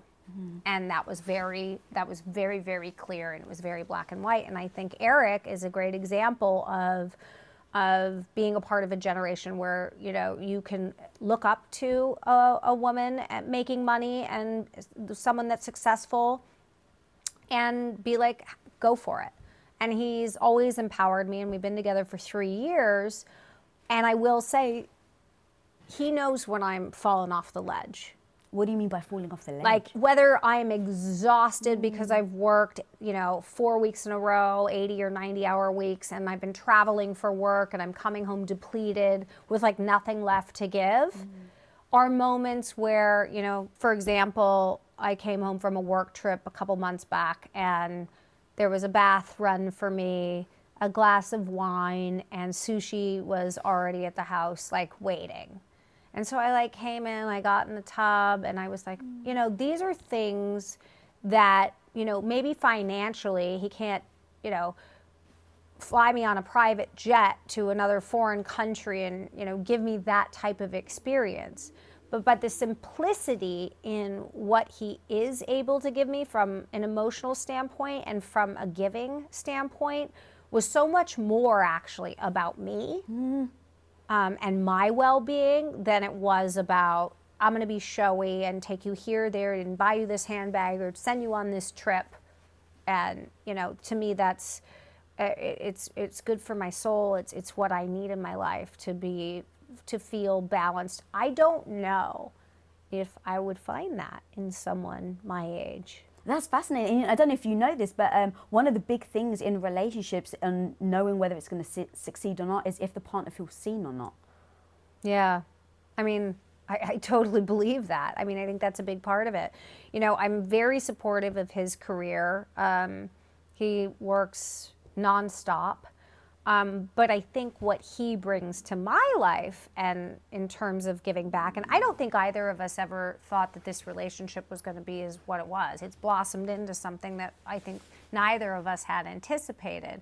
But out of that has come something so beautiful, and, and whether or not it's, you know, till death do you part, or however long we make a choice to be together, um, the, those moments are so important. Like he brings me back down to earth and reminds me that I need to sleep. I need to take care of myself. I need to do things that are good for my well being and my health and my wellness versus, you know, being out in the public eye at the right restaurants and, you know, having the right handbag or any of that shit, which mm-hmm. at the end of the day, I see a lot of people, particularly in LA, that are focused on all of those things. Mm. Did you have to face judgment when you started dating him because he was so much younger than you? Absolutely. How did you deal with that? I told him to eat shit. True. Fuck yeah, you I did, did I, did. I really, I really did not give a fuck. I, I just, I just didn't. And not at all. No. Even people close to you. No. No, I really didn't because if you know Eric and the people that know me intimately that have an actual relationship with him and made an effort to really get to know him know who he is. He's a he's a deep down an incredibly solid human being. Sometimes more so than, you know, the men that are my age. And so when you have a foundation like that for like a solid human, um, the people that I said know us intimately are like he's a good guy. Now whether or not you guys end up together forever is is is not the point. You're in a relationship that's much healthier than the relationships you've been in in the past, and we like this for you. You're healthy, you're happy, you've never felt better, you're rested. I'm not going out all the time. I'm I'm more successful, I'm more productive. Like this is because the man in my life is there supporting me and lifting me up and and also sort of drawing a line saying, I don't really think that you need to like we need to go out tonight. Mm. Like I think actually it would be nice if we just spent some time alone. And I'm like, okay, great. You know, it's nice to kind of have that and, and sort of be brought back down. Mm. How are you able to build trust back again from your last relationship and now being in this new relationship? Honestly, I, I, uh, that's again a daily sort of stay in your body, try not to go back to the trauma of what that was, and trust that if it does happen again, you'll make the decision that's right for you, and you won't wait five years to do it, mm. right? Um, I don't think in relationships we can ever fully trust that someone isn't going to do something outside of the bounds of what your agreement is between the two of you. Um, How are you going to trust yourself then to hold true to that? Well, I guess I have to find out, right? well, hopefully like, you don't, but right. But yeah. assuming that I'm presented with that scenario again, there won't be uh, um, uh, there won't be second, third, fourth, fifth, sixth chances. Yeah. The reason why I ask is I think that that's something that a lot of people struggle with when they've been cheated on. It's like, wow, I don't trust myself anymore. I don't trust myself that I'm going to be able to spot it, that I'm going to be able to leave again, or that I'm not going to be able to lose myself again I in totally a relationship. relate to that on every level. I think that any woman or man that's been through that and has been truly betrayed and, and really caught off guard um, is a really difficult recovery process to fully trust again. Mm. I don't even know if I'm 100% there. I don't know if I ever will be, um, but I have to try and I have to give myself to it fully. And the only way to find out if you're capable of it is by virtue of experiencing it. Mm. I heard you say, though, that the judgment always came from women. Yeah. You know, um, this is an interesting topic because so for so long, you know, being sort of the feminist that I am, I've looked at men as being the reason uh, that we are not, you know, equal on all fronts. And over the course of the last few years, I've done some soul searching on that and just even looking at the women around me, um, women across the board on social media channels, and I've recognized that, you know, the competitive nature between women to get to the top is one piece of the puzzle. And then I also think, again, my generation, the generation in front of me, and the generation in front of that generation are all still, everybody's behind their little computer on social media, sitting in the dark, judging. Mm-hmm. I think the, the younger generations are a little bit um, different. Uh, but I think women typically are our biggest challenge today. I think there's a, a problem with the way that we all grew up, and, and it's very difficult to break out of those patterns because we were raised in that. At, at 47 years old, for me to be who I am every single day and be this feminist, uh, it's like work. I've had to like challenge myself in certain areas and be like, well, why can't I remember I hired, here's an example. I hired a new agent on my team by the name of Shelby. Shelby, I met in Mexico at a, a 50th birthday party. She's 25 or 20, she was 25 or 26 at the time. Gorgeous model, you know, great on social media and Instagram, but a model nonetheless. And a couple years later, she came to me and wanted to sell real estate. Smart girl, totally has the charisma for it. But you know, was the first thing I did? I started saying, well, she's going to have to like stop modeling and doing the whole bikini thing mm. on social media to be taken seriously. And then I was like, no, no. Do you know what I'm saying? Like I, I did the same fucking thing. And, and by the way, every, you know, the people that surrounded me in business were like, oh you know, she's really going to have to reel back on, you know, because she couldn't possibly be successful in real estate and wear a bikini. Now, granted, there's fine, you're not going to wear a bikini to a listing appointment, but perception is everything. And I said, well, then if I'm going to stand here and say all of the things that I'm saying about being a feminist and I should be able to wear a half top and, and make, you know, $10 million a year, then I have to also get behind the women underneath me that are doing the same thing and actually elevate them, support them, and make them into the little bosses that they are and that's exactly what she's doing. I, I said to her, I even told her, you know, pretty much this story. And I said, there's no reason for you to have two separate accounts. You do you.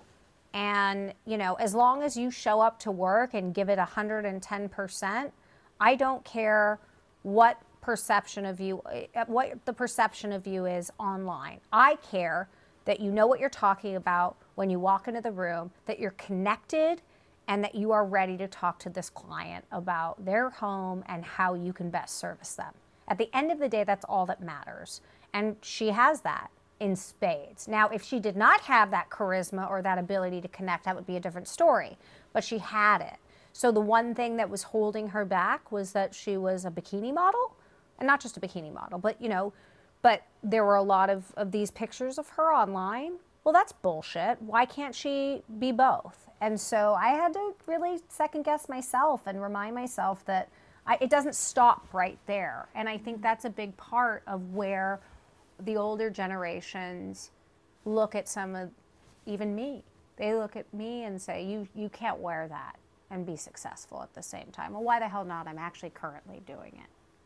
You know? And I think that's part of what my new messaging is. It's talking to women about really supporting each other because I think that's kind of like, it's kind of bullshit. Like we say we support each other to a point, but then don't don't be too feminine. Don't be too comfortable with your own body. You're still a mom. What kind of mom are you if you dress like that? All of these types of comments are completely farcical when it comes to, you know, talking about women online. And and it it, it's made me absolutely bananas crazy. So now it's it's like all I I want to focus on and talk about because we can't point the finger at men forever for holding each other back. We have to elevate each other and be able to be all of the things that we are. And that includes boobs and a butt and a pair of heels and however we feel like doing our hair and makeup. That's what makes us women. We have we are in completely different than men. And we have to celebrate all of those differences, not just how they fit into being an old version of becoming a feminist. I love your energy around this. I feel the same and I don't know how to talk about it because I have a freaking show called Women of Impact. My whole life is dedicated to supporting women, elevating women, helping women. And yet people sometimes still watch this show, homie, and there's mm. people across the sea and they just, in the comments, rip the, the woman apart or rip me apart. What the hell's up with this woman's hair? Or like, why does she talk in a squeaky voice? Um, I had one uh, guest who was a doctor. She was giving advice on how women can help with their hormones and self care. Right? So her whole life is dedicated to helping women and their hormones. Mm. And the comments is because she wore a crop top. Story Literally, of my life. Women in the freaking comments. Oh, guys, I read the comments. I read the freaking comments in the comments, they were like, I can't take this woman seriously because she's showing her belly. How can she, if she wasn't showing her boobs, I would take her advice more seriously.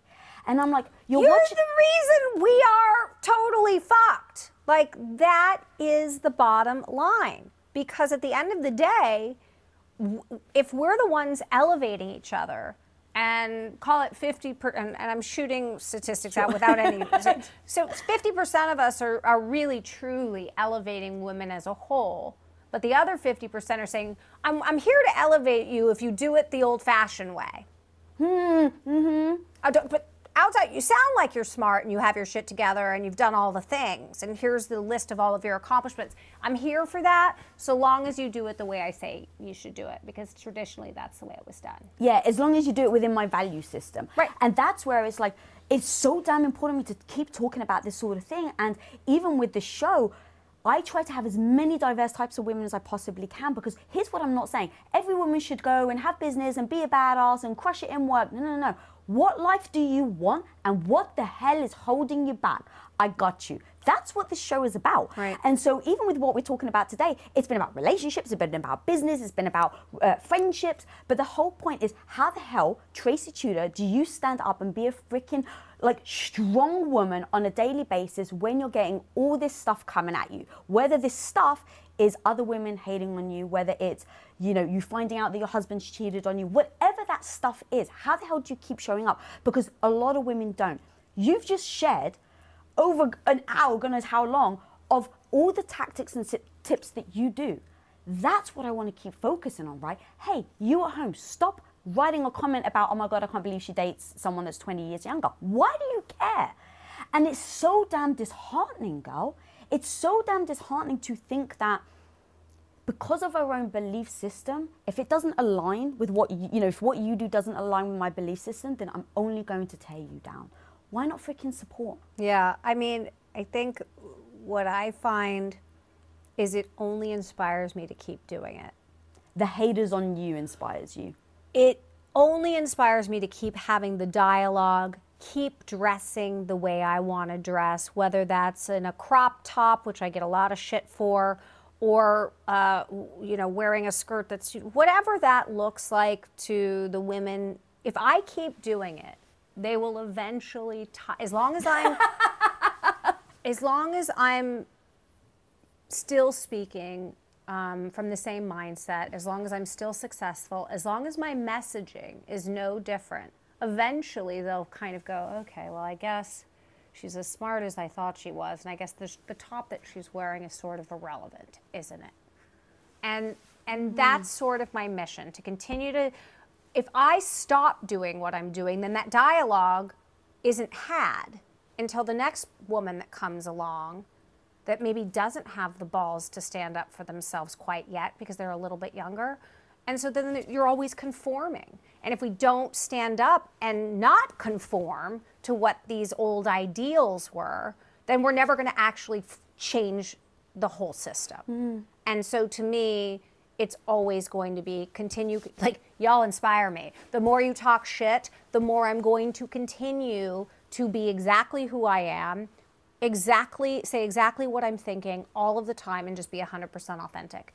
And it seems to be working. So fuck yeah, girl. And I um I don't want to presume, but I do feel like sometimes a lot of the hate just comes from insecurity, right? It's like I I wish I had the confidence to dress like that. I wish I had the confidence to just say, yeah, I'm divorced. I'm going to go after a guy who's 20 years younger than me. Like and so, because maybe people don't have the confidence, the um, the flip side is to actually say why it's wrong because now they don't. You don't necessarily have to. Yeah, I mean, I think we yourself. all we all know that, right? Like, you know, social media trolls. Uh, it's you know, they're all insecure, and that's a very easy way to compartmentalize them, right? And so that we can move on with our day. But the truth is, we have to. The, social media is how people communicate. Mm-hmm. It is a big part of how we're all out there and having success that we're having. And if we don't continue to have the dialogue on how to shift that narrative, then we're not going, we're going to continue to have sort of these internet trolls that actually are valued. There's value there. There's a reason these different blogs and, and social media accounts are created. There's a reason bots are, you know, these are things are mm-hmm. successful because people buy into it.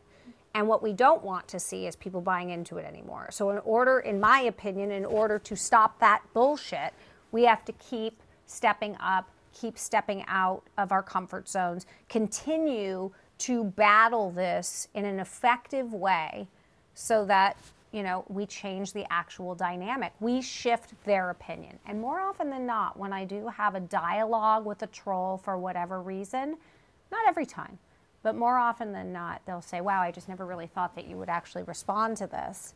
Sorry. And I'm not, I'm not emotionally affected by it either way, but it's more of a shift of I'd rather connect with you and explain to you that the reason I will continue to do this is so that I can shift your mindset mm-hmm. about it. I'm not here to upset you. I'm here to shift your mindset that I can be many, many things. And those things include sexiness, funny, and really fucking smart at the same time.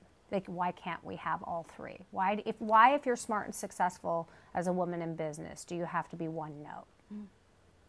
I'm over it. Where's that um, fine line between um, helping them, right? Like, actually, I think that if I say this, maybe I'm opening a door that you haven't seen before, and defending yourself. I mean, I think in some cases, you know, when they when it's tapped into my relationship with my children, um, uh, I definitely have a little bit of a different messaging messaging surrounding that.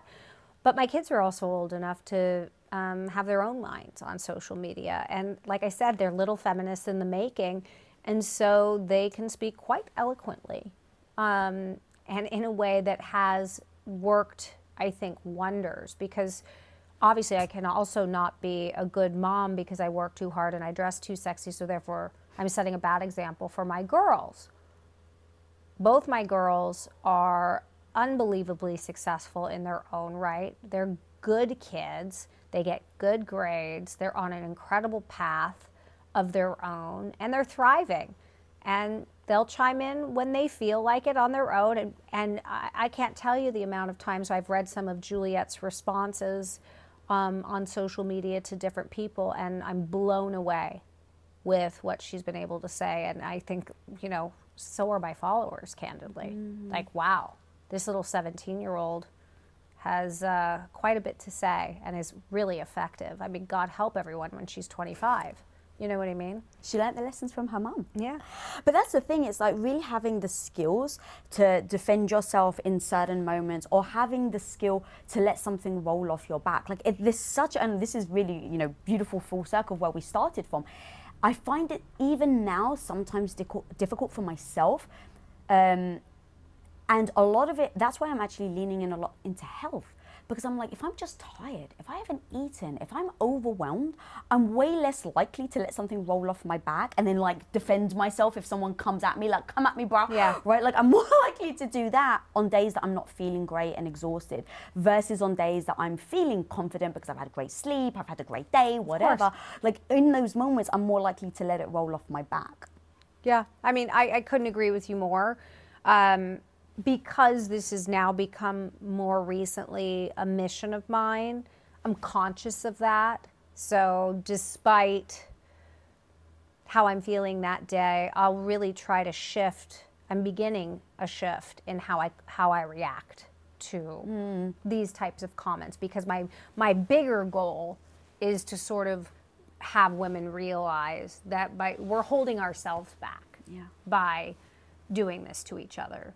Um, we're our we should be our biggest advocates, not the reason that we're still not there. Yeah, and even in what you were just saying, it's like if someone said, I can't take you seriously because you wear heels and you wear low cut tops, versus you can't be a good mum because you wear heels and low cut tops. I assume that the impact it has on you, to your point of like when it's to my kids, obviously they're older now, but when they were younger, did you have more of that like protection? Like, okay, now you've actually triggered the thing inside me that's not gonna, I can't let this roll off my back. Yeah, of course. I mean, they're my babies. And, you know, I feel very responsible, for, uh, along with Jason, for the women that they're becoming. And, uh, and you know, when your kids become teenagers, it's like a whole different world. Like you're lucky enough to be graced by their presence. They have ideas of their own. They have their own thoughts. They, you know, you're like old and they have their own vision of how they want their life to be. Now, I could either take that and be offended by it, but honestly, I embrace that in them. And so when they were younger, these types of comments would get at me a little bit more. But now, because they follow me so closely in my business, and, and really what I am all about is women empowering other women, they're like my little empowerment chicks. So Scarlett a little bit less so, and again she's only 14, but Juliet's like 17, going on like 30. she's just like, listen, here's how I'm going to put it to you, ladies, and she'll you know chime in on her own, and and that sort of affirms that without me having to say it, that the little women that I have raised, I've raised really well and they're making good decisions. They know how to speak on behalf of themselves. They know how to elevate themselves, and they know how to be heard. Um, and that to me is is the job speaks for itself. I don't have to defend it. Mm, I love that, but because I don't have children, like the mama bear effect is very fascinating to me. Because every time I hear about pretty much any badass, powerful woman, it's always just like, well I kind of let things slide off my back if people are insulting me, if people are doing this to me. Like we always kind of let the things go when it's happening to you. But when it happens to someone in your life or someone you really care about, like I can't even remember the stats. I'm going to pull something out of my ass right now, but it's something like 70% of women are more likely to fight for their colleagues' pay raise than their own pay raise um, because you're more likely as a woman to advocate for someone else over yourself. What would you suggest if you weren't a mother of like, or in fact, anybody of how we start to actually advocate for ourselves first? Right. I mean, it's so true. I was watching this Korean new show. Uh, you guys got to see it. It's called Glory, oh. and it's about it's it's obviously in South Korea, but it, it's about a young girl who was bullied by some high school students, and she spends the better part of 20 years coming back for revenge. It's really good. but there's this instinctual thing I think that happens with women, and I, I don't know, maybe not for every woman, but for me, since I was a kid if there is an underdog, I am their protector. If there is someone that isn't getting paid equally, then I'm coming to bat for them. Like, I've just always been that way. And I used to attribute it to just being a woman. And that's part of just like our makeup and who we are. But um, I definitely have not advocated for myself early enough as a young you know, entrepreneur coming into business. Mm. It took me until now to finally start beginning to, you know, advocate for myself in the last, call it, eight years of my career. But the first 15 years of my career, I spent advocating for everyone else. Mm-hmm. And, and that's just the truth. Um, and so, you know, again, the reason why I wrote the book, um, and the re- and you and I had talked about this before, I really wanted young women to connect to it because I didn't have that book or that mentor that I understood or that I related to because, you know, they said fuck every so often. I was like, oh, they make mistakes. They're not just polished 100% of the time. They speak with authenticity. I didn't really have anyone to look up to growing up. So I fell on my face 150 times and had to figure out how to get back up and, and become successful. I don't want the 20 somethings of the world to, to have to go through what I went through. Like, we can cut that in half by you know talking to each other supporting each other advocating for each other and for ourselves starting you know, outside of college or even outside of high school, um, rather than when you're 38. If your partner or parent or anyone you know in your life is a verbally abusive narcissist, then click here right now. Narcissists have to have control. And this is to do with their ego. They have very fragile sense of self. They have very low self esteem. They feel more comfortable being in control. And they didn't feel this way when they were.